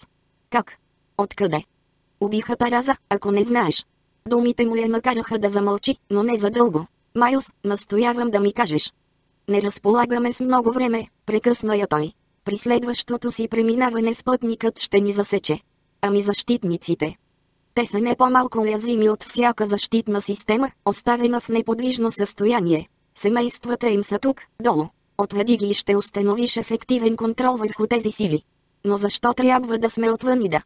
За да приберете Одрейди и момичето с нея. Да, също и червея, с който идват. За какво ни е пък този? Одрейди ще каже какво трябва да се направи. Нали знаеш, че сега тя е вашата старша света майка? Значи отпращаш ни. Сами се отпращате. Аз оставам тук с хората си, за да не могат онези да се досетят какво е станало. Отвличане на вниманието. В командния пункт настъпи заредена с безброй въпроси тишина. Отвличане на вниманието, помисли Тек. Колко е неправдоподобно. Замисленият от него отпор щеше да предизвика истерия сред почитаемите мами, особено след като те бяха накарани да повярват, че гола ударенията е тук. Не само щяха да контратакуват, но в последна сметка да прибягнат към процедурата на пълно обезплодяване. По-голямата част от Ракис щеше да бъде превърната в въглени руини. Вероятността за оцеляване на хора, черви или пясъчни твари бе съвсем незначителна. Почитаемите мами се опитваха да намерят и ловят черви, но не успяха, добави той. Наистина не разбирам как може да са толкова недълновидни в представите си за начина, по който трансплантирате една от тях. Трансплантираме ли? Обърка се напълно Лусила. Тек рядко бе виждал света майка в толкова затруднено положение. Опитваше се да събере в едно казаното от него. Той бе забелязал, че сестринството притежава някои от ментатските способности. А един ментат може да стигне до определено убеждение дори при ограничено количество данни, макар и с известни резерви. Само че, за добро или зло, отдавна щеше да се намира извън нейния обсек на действие или на която и да е друга света майка, преди тя да е събрала нужните данни. Ама че боричка не ще настане за потомството му. Разбира се, че Димела ще бъде включена в кръга на специалистките по размножителния процес, както и Одреди. Просто нямаше как да го избегне. Следователно тук ни заплашва опасност, каза Лусила. Да, до някъде. Бедата на почитаемите мами е свързана с факта, че са прекалено богати. Грешат като всички богаташи. Покварени курви. Изсъска тя. Предлагам ти да се изнесеш в входния отсек, Одреледи скоро ще бъде тук. Лусила си тръгна, без да каже нещо. Цялата защита е активирана, съобщи офицерът за свръзка. Предупреди Бурзмали да има готовност да поеме командването, разпореди тек. Всички останали скоро ще излезем. Очаквате ли да ви последваме до един? Обади се онзи, който търсеше изкупителна жертва. Не, спокойно отвърна тек. Ще го направя и сам, ако се наложи. Искам с мен да дойдат само онези, които го желаят. Помисли, че сега вече всички ще го последват. Внимателно оказваният натиск бе трудно разбираем или почти неразбираем за неподготвените в БНГ В командния пункт отново настъпи тишина, нарушавана единствено от тихото бръмчене и прищракване на приборите. Тек отклони вниманието си към покварените курви. Според него не беше правилно да ги наричат така, въпреки че свръхбогатите нерядко биваха поразени от пълна безнравственост. Причиняваше я вярването, че парите или пък властта могат да купят всичко и всички. А защо да не го вярват? Ставаше всеки ден пред очите им. Най-лесно се вярва в абсолютни истини. Надеждата във вече не цъфтеш. Беше също като с която и да е вяра. С пари може да се купи даже невъзможното. Тогава идва и пълната поквара. С почитаемите мами обаче не беше тъй. В известен смисъл те винаги бяха се намирали отвъд нея. Можеше дори да схване как са успели да я преодолеят. Ала сега се озоваха в нещо толкова свръх тоталната безнравственост, че тек се колебаеше дали наистина иска да го разбере. Въпреки това новото му съзнание вече го бе формулирало. Нито една от онези жени не би се поколебала да подложи на върховни тързания цяла планета, ако има лична изгода. Или ако в замяна ще получи някакво предполагаемо удоволствие. Или ако мъчението може да й ударение даде още няколко дни живот. Стига подобно съществуване да можеше да се нарече живот. Какво им харесва? Какво може да им достави удоволствие? Те бяха като пристрастените към семута. Всеки път искаха повече от предишния. И добре го знаят. Какъв ли бяз ги изгаря отвътре? Попаднали в подобен капан? Бяха познали всичко, но нищо не ги задоволяваше, нито добро, нито достатъчно зло. Липса на всякакво чувство за мярка. Ала продължаваха да бъдат опасни. Може би бе сбъркал само в едно, вероятно те вече не си спомняха какви са били преди ужасната трансформация, започнала в тях под въздействието на наркотика с тръпчивата миризма, който отсветяваше в оранжево очите им. Спомените за спомени могат да се превърнат в силно изопачена представа за станалото някога. Всеки ментат притежаваше изострена чувствителност към този недостатък. Ето го и червея. Отново беше офицерът за свръзка. Тек се завъртя на стола и се вгледа в прожектираното изображение, миниатюрна холограма на ставащото отвън в югозападна посока. Червеят с двете малки петенца на пътуващите върху гърба му човешки същества представляваше виещо се вълма от движения в далечината. Въведи отреледи сама, когато пристигнат, каза той. Шилиена да остане навън, за да помогне при прибирането му в товарния отсек. Звярът ще и ударение се подчини. Да се провери също дали Бурзмали е готов и се намира в непосредствена близост. Няма да разполагаме с много време за прехвърляне на поста.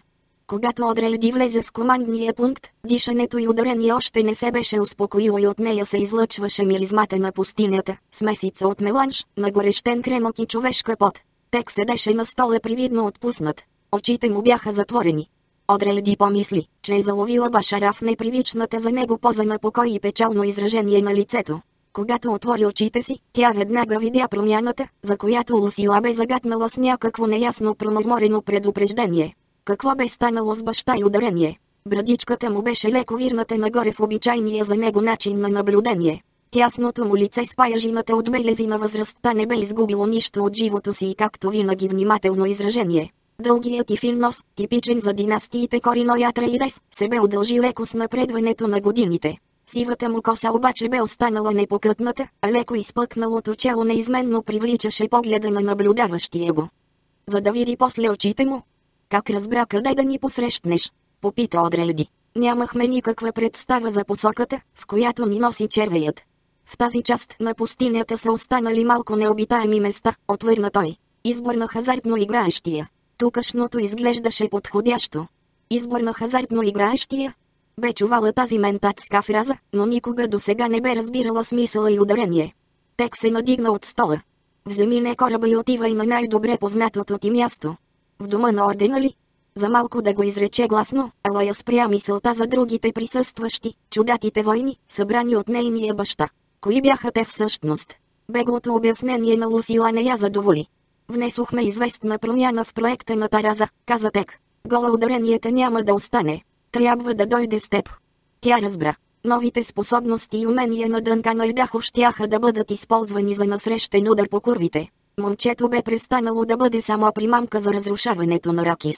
Разбира се, няма да може да напуска прикритието на не кораба, добави Тек. Одреледи потвърди с кимване. Дънкан не бе защитен от претърсващи, способни да погледнат в бъдното. Като штурманите на сдружението, например. Башар, обади се офицерът за свръзка. Улових пилкане на засякълни спътник. Е, хайде, мърмоти звезда, извика Тек. Всички навън. Да влезе Бурзмали. Звезда мърмот, едър гризач, разпространен най-вече в Северна Америка и отличаващ се с смел и воинствен нрав. Б. Пехре, от към задната част на командния пункт се отвори люк. Повиканият се вмъкна през него и започна. Башар, какво ще?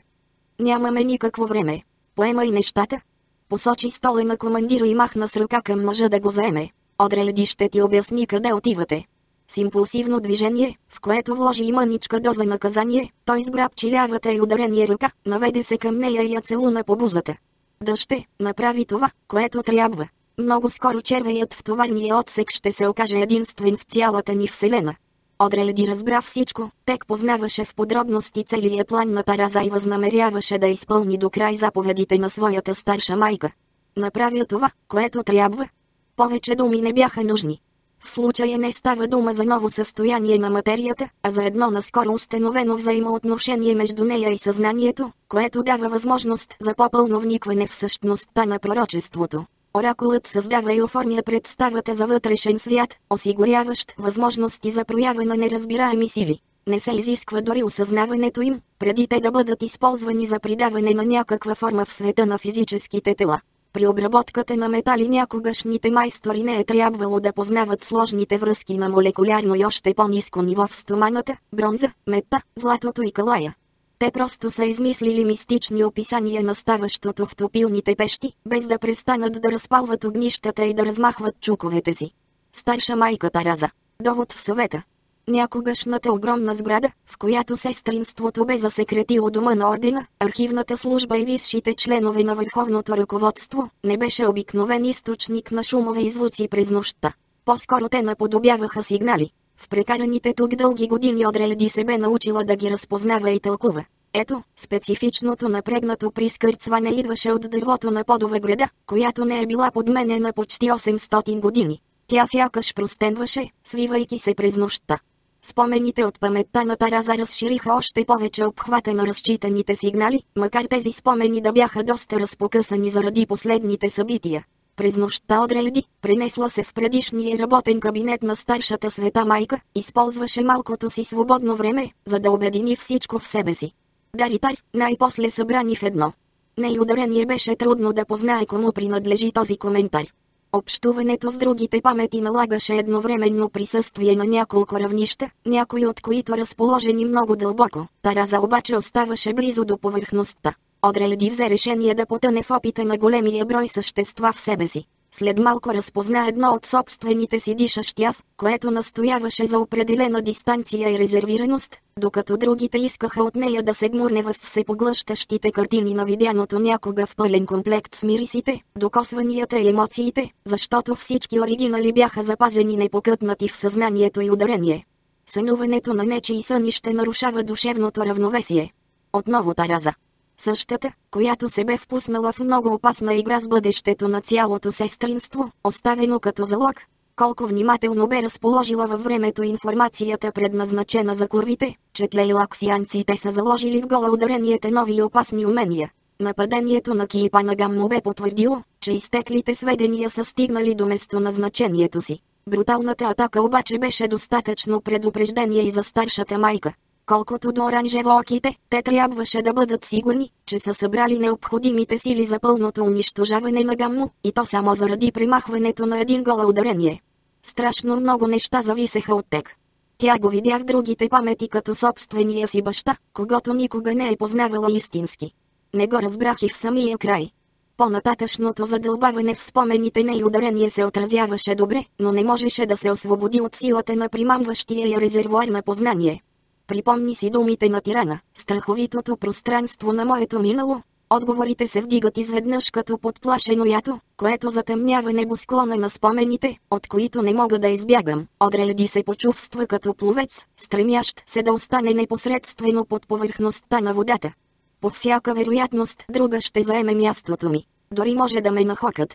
Белонда сигурно бе решила да не дава с лекота съгласието си за новата главнокомандваща. Няма значение. Оцеляването на сестринството бе главното, което засягаше и последната от светите майки. Изплува от другите спомени и прекоси с поглед стаята до притъмнената ниша, където бюстът на жена се очертаваше смътно в слабите отблясъци на светоглабусите. Бюстът бе размит от сенките, но Одрелди помнеше добре лицето на Квинтиниус Виолет Ченой, символизираща пазителя на дома на ордена. Единствено заради Божията милост. Всяка сестра, издържала на агонията при изпитанието с подправката, което не бе изпълнено от Ченой, казваше или мислеше същото, но в действителност какъв беше смисълът му?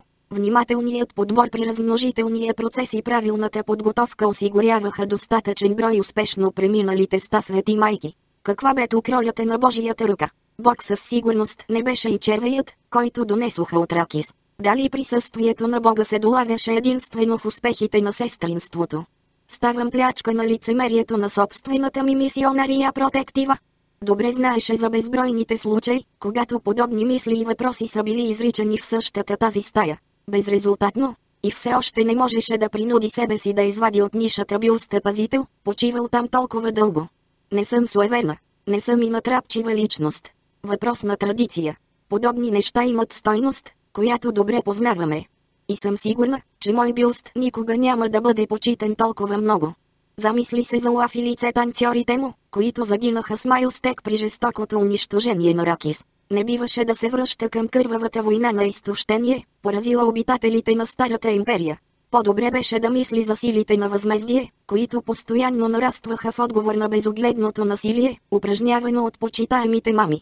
Тек знаеше, Приключилата наскоро сесия на съвета умори присъстващите, които така и не стигнаха до окончателни решения и изводи. Одрелди се почувства щастлива, когато успя да насочи вниманието им към няколко съществени въпроса, важни за всички. Наказанията ги занимаваха известно време. Историческите прецеденти, извадени от архивни анализи, придобиха плът в задоволителна форма. Групичките, които се бяха съюзили с почитаемите мами, сега никак не бяха за завиждане.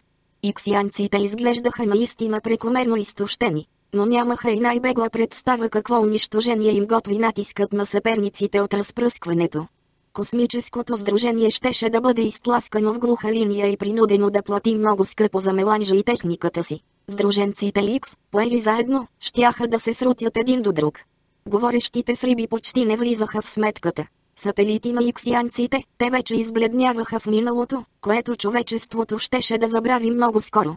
Ето че стигнаха и до Бенет Лейлакс. О, да, Лейлаксианците. Уав бе отстъпил пред почитаемите мами. Не бе намерил сили да го признае, но истината блесна. Само веднъж и с една от личните ми лице танцорки Одрелди се усмихна мрачно, когато си спомни за горчивата целувка на баща си. Ще се разпоредя да направят друга ниша. И ще поръчам нов бюст на Майлстек, великия еретик. Подозренията на Лусила по отношение на Башара бяха обезпокоителни. Дали най-после бе успял да надзърне в бъдното и да види не корабите? Хубаво. Експертките по размножителния процес трябваше да проучат внимателно въпроса. Преминахме на стенуване. Хвърли обвинението си и Белонда. Всички знаеха значението на идиома, бяха се оттеглили в защитна позиция, докато трае дългата нощ на курвите. Одрелди прецени, че казаното от светата майка не и ударение е направило особено впечатление, също както смехът, с който тя от време на време излагаше на показ широките си, скъсени си спилване зъби. Спряха се и на въпроса за клетъчните проби на Шиена. Проверката за Сиона даде положителен резултат. Родословните особености я пазеха от взора на прорицател и ударения даваха възможност да излиза от не кораб. Докато при Дънкан нещата бяха различни. Одреледи насочи мислите си към гола ударенията, намиращ се в приземение не кораб. Стана от стола, прекоси помещението до тъмния прозорец и погледна към мержелеещия се в далечината космодрум. Можеха ли да поемат риска и да пуснат Дънкан извън корабния щит?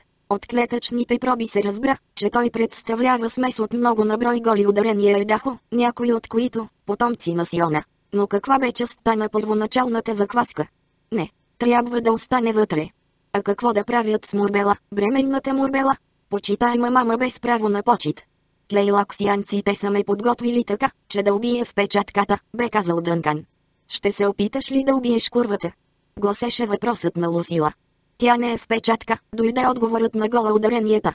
Съветът бе обсъждал надълго и на широко възможния характер на връзката между Дънкан и Мурбела. Лусила остана твърдо на мнението си, че не може да се говори за никакво единение на двамата, които остават противници, предпазливи един към друг. Най-добре ще е да не рискуваме, като ги съберем. Но необикновеното сексуално умение на почитаемите мами трябваше да бъде проучено подробно. Може би си струваше да опитат с една среща на Дънкан и Мурбела в не кораба, с внимателно подбрани защитни мерки, разбира се. Накрая тя съсредоточи вниманието си върху червея в товарния отсек, очакващ момента на метаморфозата. Вече бе готов малък басейн с пръстена стена, който напълниха с меланж. Когато мигът настъпеше, Шиена щеше да го подмами в меланжовата баня. И сипналите се от него пясъчни твари щяха да започнат дългия си преходен период. Беше прав, тате. Всичко е толкова просто, когато го видиш с прояснен поглед. Вече нямаше защо да търсят пустинна планета за червеите. Пясъчните твари щяха да създадат жизнената среда, необходима за Шайхолот.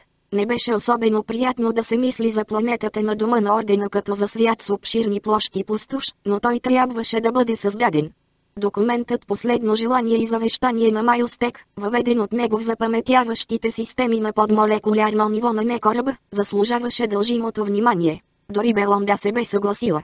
Наложи се да направят пълна ревизия на всички исторически записи на дома на Ордена. Необходимо беше да погледнат по-новому на онова, което те бе забелязало изгубените, блудниците от разпръскването. Рядко научавате имената на действително богатите и властимащите.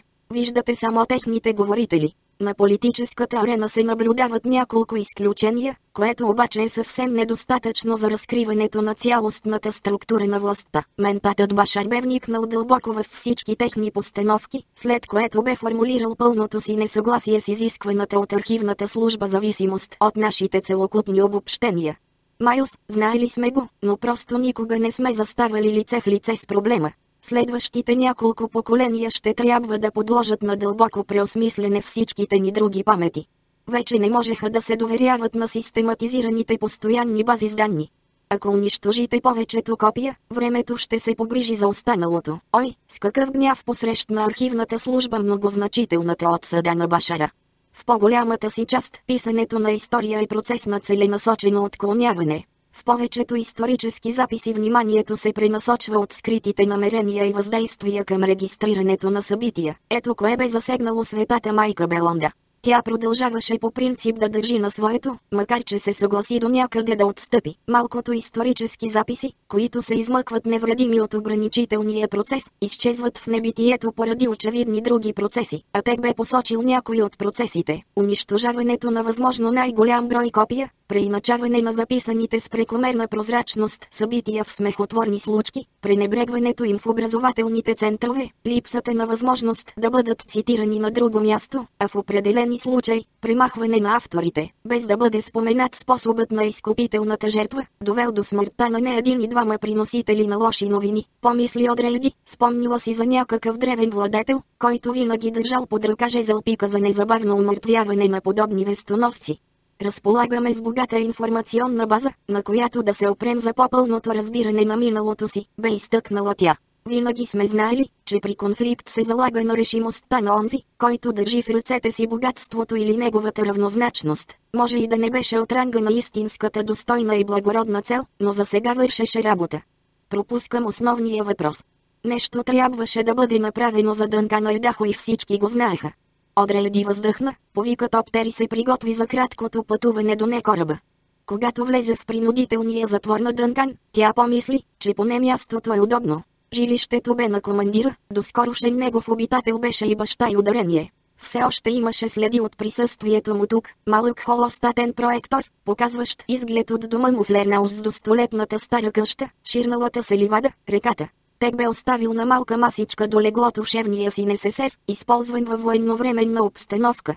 Дънкан, взрян в изображението на холостата, се бе свил в стол с плътнена седелка. Погледна апатично нагоре към влязлата света майка. Значи го оставихте да умре там, така ли? Запита той. Направихме това, което трябваше, отвърна Одрелди. Изпълних заповедите му. Знам защо си тук, рече Айдахо, но няма да ме накараш да променя решението си. Не съм жребец за вещиците. Разбрали ме? Тя приглади робата си и седна на края на леглото с лице към него. Прегледа ли записа, който баща ми остави за теб? Баща ти ли? Майлстек беше мой баща. Предавам ти последните му думи. Накрая ние гледахме с неговите очи. Той трябваше да види смъртта на Ракис. Разумът в началото си разбираше зависимостите и думите трупи с ключово значение. Озадаченият вид на момчето я накара да обясни. Прекалено дълго бяхме в лабиринта на клопката, заложена ни от тирана прорицател. Забеляза обзелото го напрежение в преливащите, сякаш котешки движения по тялото му, които издаваха добре подготвени за атака мускули. Няма никаква възможност да избягаш от кораба и да останеш жив, каза тя. Знаеш защо? Сиона. Присъствието ти е опасно за нас, но предпочитаме животът ти да не е безполезен. Държа, че няма да се чифтосвам заради вас, особено пък с онази малка глупачка от Ракис. Одрелди се усмихна, питайки се как ли би реагирала Шиена на направеното описание. Намираш, че е смешно ли? Засегна се Дънкан. Не съвсем. Имаме и детето на Мурбела, разбира се. Предполагам, че ще бъде достатъчно за целите ни. Свързах се с Мурбела и доста поговорихме. Тя мисли, че ще стане света майка, след като я приемете в Бенегесерит. Защо не? Клетките и ударения отговарят положително на проверката за Сиона. Може би от нея ще излезе превъзходна сестра. Успя ли да се сближи с вас? Искаш да попиташ дали не сме забелязали, че прави мили очи, за да се добере до тайните ни, след което да избяга? О, Дънкан, знаем го. Да не би да твърдиш, че не може да го направи? Момче, хванем ли ги веднъж, те вече никога не са изгубени за нас. Следователно не приемате, че сте изпуснали Лейди Джесика, така ли? Накрая и тя се върна. Кажи ми истината, защо дойде да ме видиш тук? Реших, че заслужаваш обяснение за плана на старшата света майка. Целта му е унищожаването на Ракис, както сам виждаш. Фактически тя е искала да бъдат премахнати всички червей. Или почти всички. О, господи, защо? Те бяха сила на прорицанието, което ни държеше в робство. Пръснатите перлички от съзнанието на тирана засилваха многократно неговата хватка. Той не предсказваше събитията, а ги създаваше. Дънкан посочи към задната част на кораба и попита. А какво ще стане с... С нашия червей ли? За сега е само един. Когато бъдат достатъчно на брой, за да могат отново да оказват влияние, човешкият род ще е стигнал далеч отвъд сегашните си възможности. Ще сме твърде много и ще насочваме развитието на нещата по други пътища. Бъдещето ни няма да е изцяло подвластно на една сила. Никога вече. Тя се изправи. И тъй като момчето не каза нищо, продължи. Моля те да помислиш за начина на живот, който искаш да водиш при наложените ограничения, защото знам, че си даваш ясна сметка за тях. Обещавам, че ще сторя всичко, което е по силите ми, за да ти помогна. Защо ще го направиш? Защото предците ми са те обичали. Защото и баща ми те обичаше. Обич ли? Вие, вещици, не можете да изпитвате обич? Почти цяла минута тя не отмести погледа си, насочен надолу в него. Видя как обезцветената му коса вече тъмнее в корените и отново се навива на малки кадрички, особено по врата. Чувствам онова, което чувствам, каза Одрелди. Освен това, Дънка Найдахо, твоята вода и наша. Видя ефекта на фразата на свободните върху него, след което се обърна и излезе от стаята, преминавайки по край стражите. Преди да напусне кораба, тя се върна до товарния отсек и се загледа в червея, легнал кротко върху леглото си от ракиански пясък. Наблюдателният люк се намираше на около 200 метра над пленника. Докато гледаше, почувства мълчали вътрешен смях с непрестанно нарастващото участие на Тараза. Бяхме прави, а Шуондио и хората и ударение грешаха. Знаехме, че иска да се измъкне. Трябваше да го иска след онова, което бе сторил. Тя зашепна на глас, но не само за себе си, а и заради дежурните наблюдатели, застанали на пост в очакване на началото на прехода, който предстоеше на пленения червей. Вече знам езика ти. Не, езикът беше без думи и всъщност представляваше танц, приспособяващ се към ритъма на една вселена. Можеше само да се говори, но не и да се превежда. Единственият начин да разбереш смисъла му бе да преминеш през целия опит на преживяното, но дори тогава той се променяше пред очите ти. Въпреки всичко достойната с благородството си цел се оказа непреводимо познание. Докато гледаше надолу към грубата и неподвластна на горещината кожа на чудовището от ракианската пустиня, Одрейди осъзна какво вижда, конкретното доказателство за достойната цел. Ей ти, стари червею! Подвикна тя тихо. Това ли беше планът ти? Никой не отговори, но и светата майка всъщност не очакваше отговор. Речник, тъй като в петия том от епоса за планетата Дюна авторът не е включил речник, предлаганите по-долу термини са взети от оригиналното издание на първата книга, Дюна. В еретиците на Дюна се появяват и термини, липсващи в речника на първата книга. Обясненията им, отбелязани с курсив, са съставени от преводача на месията на Дюна Любомир Николов и се препечатват с негово съгласие. Аксолотлови резервуари, резервуари, в които телата на мъртвите се използват за сложен биологичен синтез. Названието идва от аксолотел, личинка на мексиканското земноводно амблистома. Аксолотелът има удивителното свойство да се размножава още преди да е достигнал стадия на възраст на амблистома. Ракис, третата планета на звездата Канопус, известна е още под името Дюна. Б. Башар, офицер от сардаукарските легиони, стоящ малко над полковника в стандартната военна иерархия, чин, създаден за военни управители на планетни подобласти. Бенегесерит, древна школа за умствено и физическо обучение, създадена предимно за жени, след като Бътлеровият джихад унищожил така наречените мислещи машини и роботите. Бенет Лейлакс, за разлика от Бенегесерит тази школа не приема никакви нравствени забрани при изследването на човешкото тяло и дух. Организацията Бенет Лейлакс е известна като безскрупулен разпространител на разрушителни открития в областта на биологията и философията. Виж също от Лейлакс, Биндо, всичко, свързано с човешката нервна система и особено с обучението за овладяване на нервните импулси. Често използвано в израза Биндо нерватура. Бътлеров джихад, кръстоносният поход срещу компютрите, мислещите машини и роботите, започнал през 201 г преди сдружението и завършил през 108 г. ПР. С. Основната повеля на джихада е запазена в оранжевата католическа Библия и звучи така. Не сътворявай машина по подобие на човешкия ум. В Великото споразумение, всеобщо примирие, наложено поради баланса на силите, поддържан от Сдружението, големите династии и империята. Главното му правило е забраната за употреба на атомни оръжия срещу хора. Ветрокапан – устройство, разполагано по посока на приближаващите ветрове кондензира съдържащата се във въздуха влага, обикновено чрез рязкото спадане на температурата вътре в капана. Влагосъхраняващ костюм, плътно обгръщаща дреха, изобретена на Аракис. Тъканта му представлява микросандвич, филтриращ пота и другите телесни течности. Възстановената влага се събира в джобни резервуари, откъдето може отново да се използва чрез така наречените функционални тръбички. Вода на живота, отровата на просветлението виж света майка. Течност, която се получава при последното смъртно дихание на удавен пясъчен червей. Вътре в организма тази течност се превръща в наркотик, познат в заслоните като наркотик на прозрението. Г. Гая Ди Прайм, планета от съзвездието Офиучи 36 Б, родно място на династията Харконен, полупригодна за живот, с ограничена възможност за фотосинтеза. Галах, официалният език на империята, силно повлиян от културно-технически термини, смесица от езиците на народите, преселвали се из Вселената. Гласът, създаденото в БНГ серит сложно умение, което дава възможност на посветения да владее останалите само посредством подбрани тонови нюанси на гласа си. Гола ударение, мъртвец, възвърнат към живота чрез тайните методи на Бенет Лейлакс, школа, която не приема никакви нравствени забрани при изследването на човешкото тяло и дух. Гомджабър, враг с вдигната ръка, специфично отровно острие, намазано с метацианит, което се използва от прокторите на БНГ Серит при изпитанието разум или смърт. За защита, защитно поле, създавано от Холцманов генератор. Полето се получава в първата фаза на суспенсорно-неутрализиращия ефект.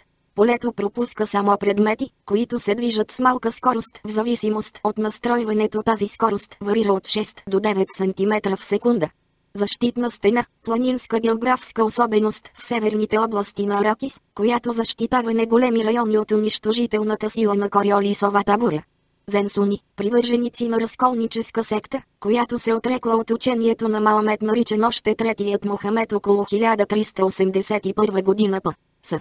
Религията Зенсуни е известна главно с подчертаната си мистичност и завръщането към пътя на прадедите. Повечето изследователи сочат като подстрекател на разкола Али Бен Охаша, но някои факти подсказват, че той може да е бил просто глашатай на втората си съпруга Нисай. И Икс, Вишричис.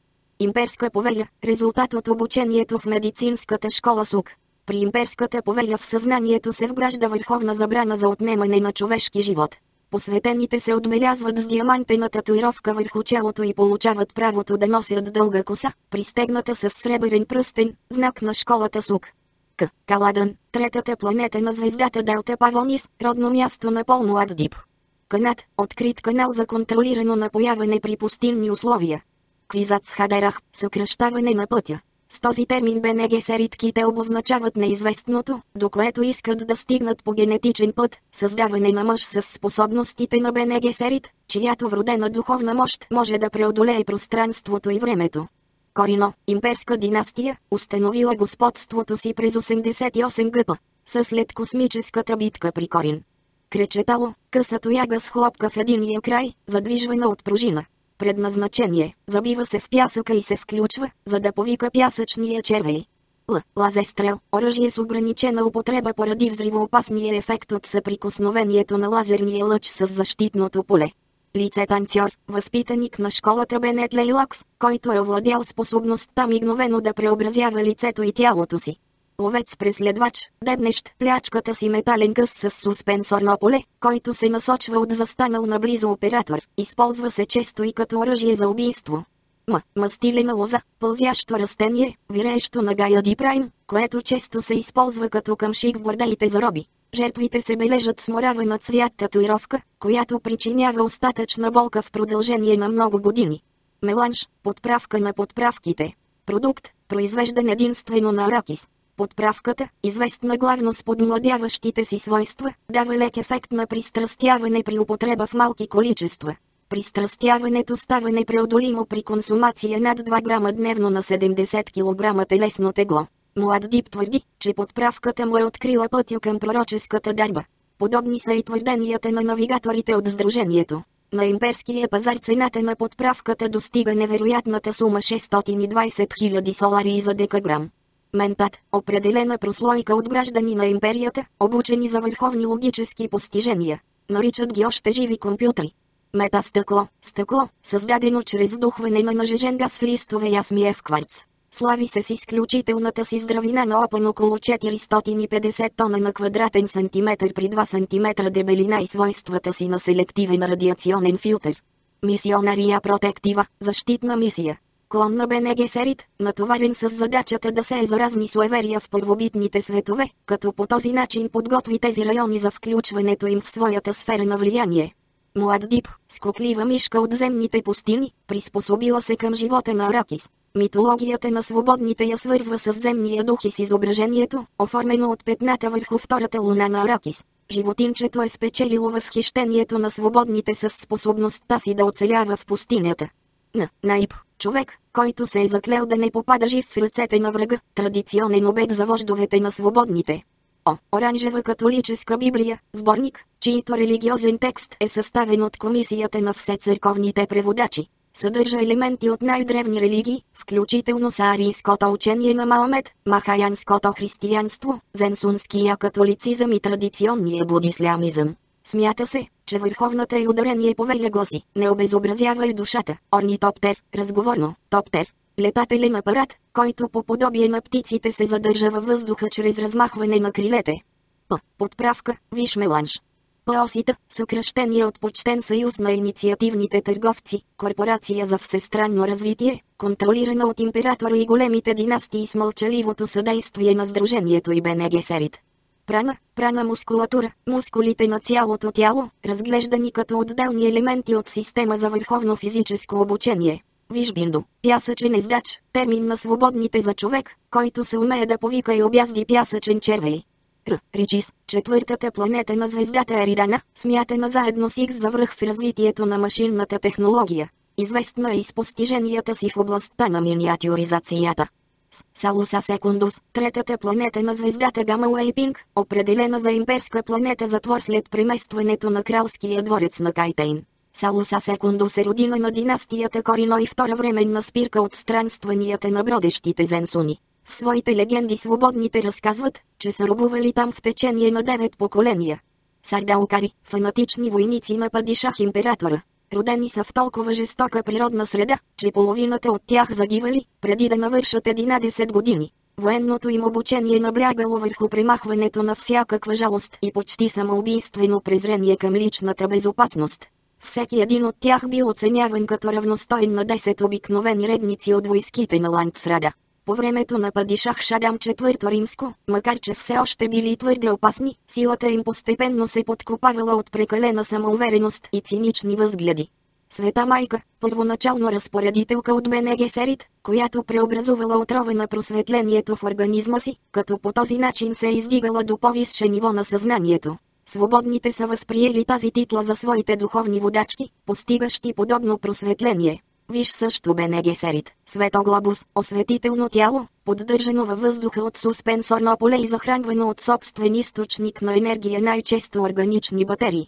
Свободни, свободните племена на Аракис, пустинни обитатели, последни потомци на зенсунските бродници. В имперския речник са определени като пясъчни пирати, Сдружението или Космическото сдружение. Едната опора на политическия триножник, поддържащ Великото споразумение, Сдружението е втората школа за умствено и физическо обучение Вижбене Гесерит след Бътлеровия джихад.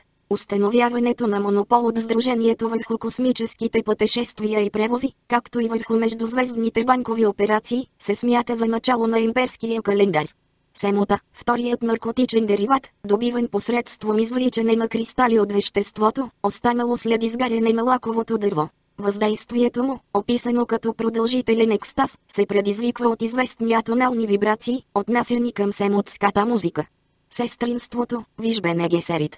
Сич, на езика на свободните място за сбор по време на опасност. Тъй като в течение на много поколения свободните са живеели под непрестанна заплаха, терминът е влязъл в разговорния език и означава всяко пещерно укритие, обитавано от някоя тяхна племенна общност стреламет, метално оръжие, изхвърлящо бавно стрела, чието връх е потопен в отрова или наркотик. Ефективността му е ограничена от колебанията в настройката на защитното поле и относителното движение между целта и оръжието. Суспенсор, вторична енергоекономична фаза на Холцмановия силов генератор. Неутрализира гравитацията в определени граници, зависещи от относителната маса и консумацията на енергия. Тлейлакс, единствена планета на звездата Талин, известна като разколнически център за обучение на ментати, източник на порочни ментати. Ч. Чакобза, така наречения магнетичен език, частично произлязал от древния ботани джибджи позначава диалект. Сбор от странни диалекти, видоизменени за целите на тайно общуване, но преди всичко ловен език на ботани, наемните убийци от първата война на убийците.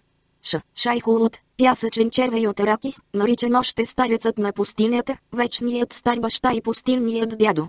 Когато се изрича с определен тон или се изписва с главни букви, това название обозначава земното божество, присъстващо във всички суеверия на свободните.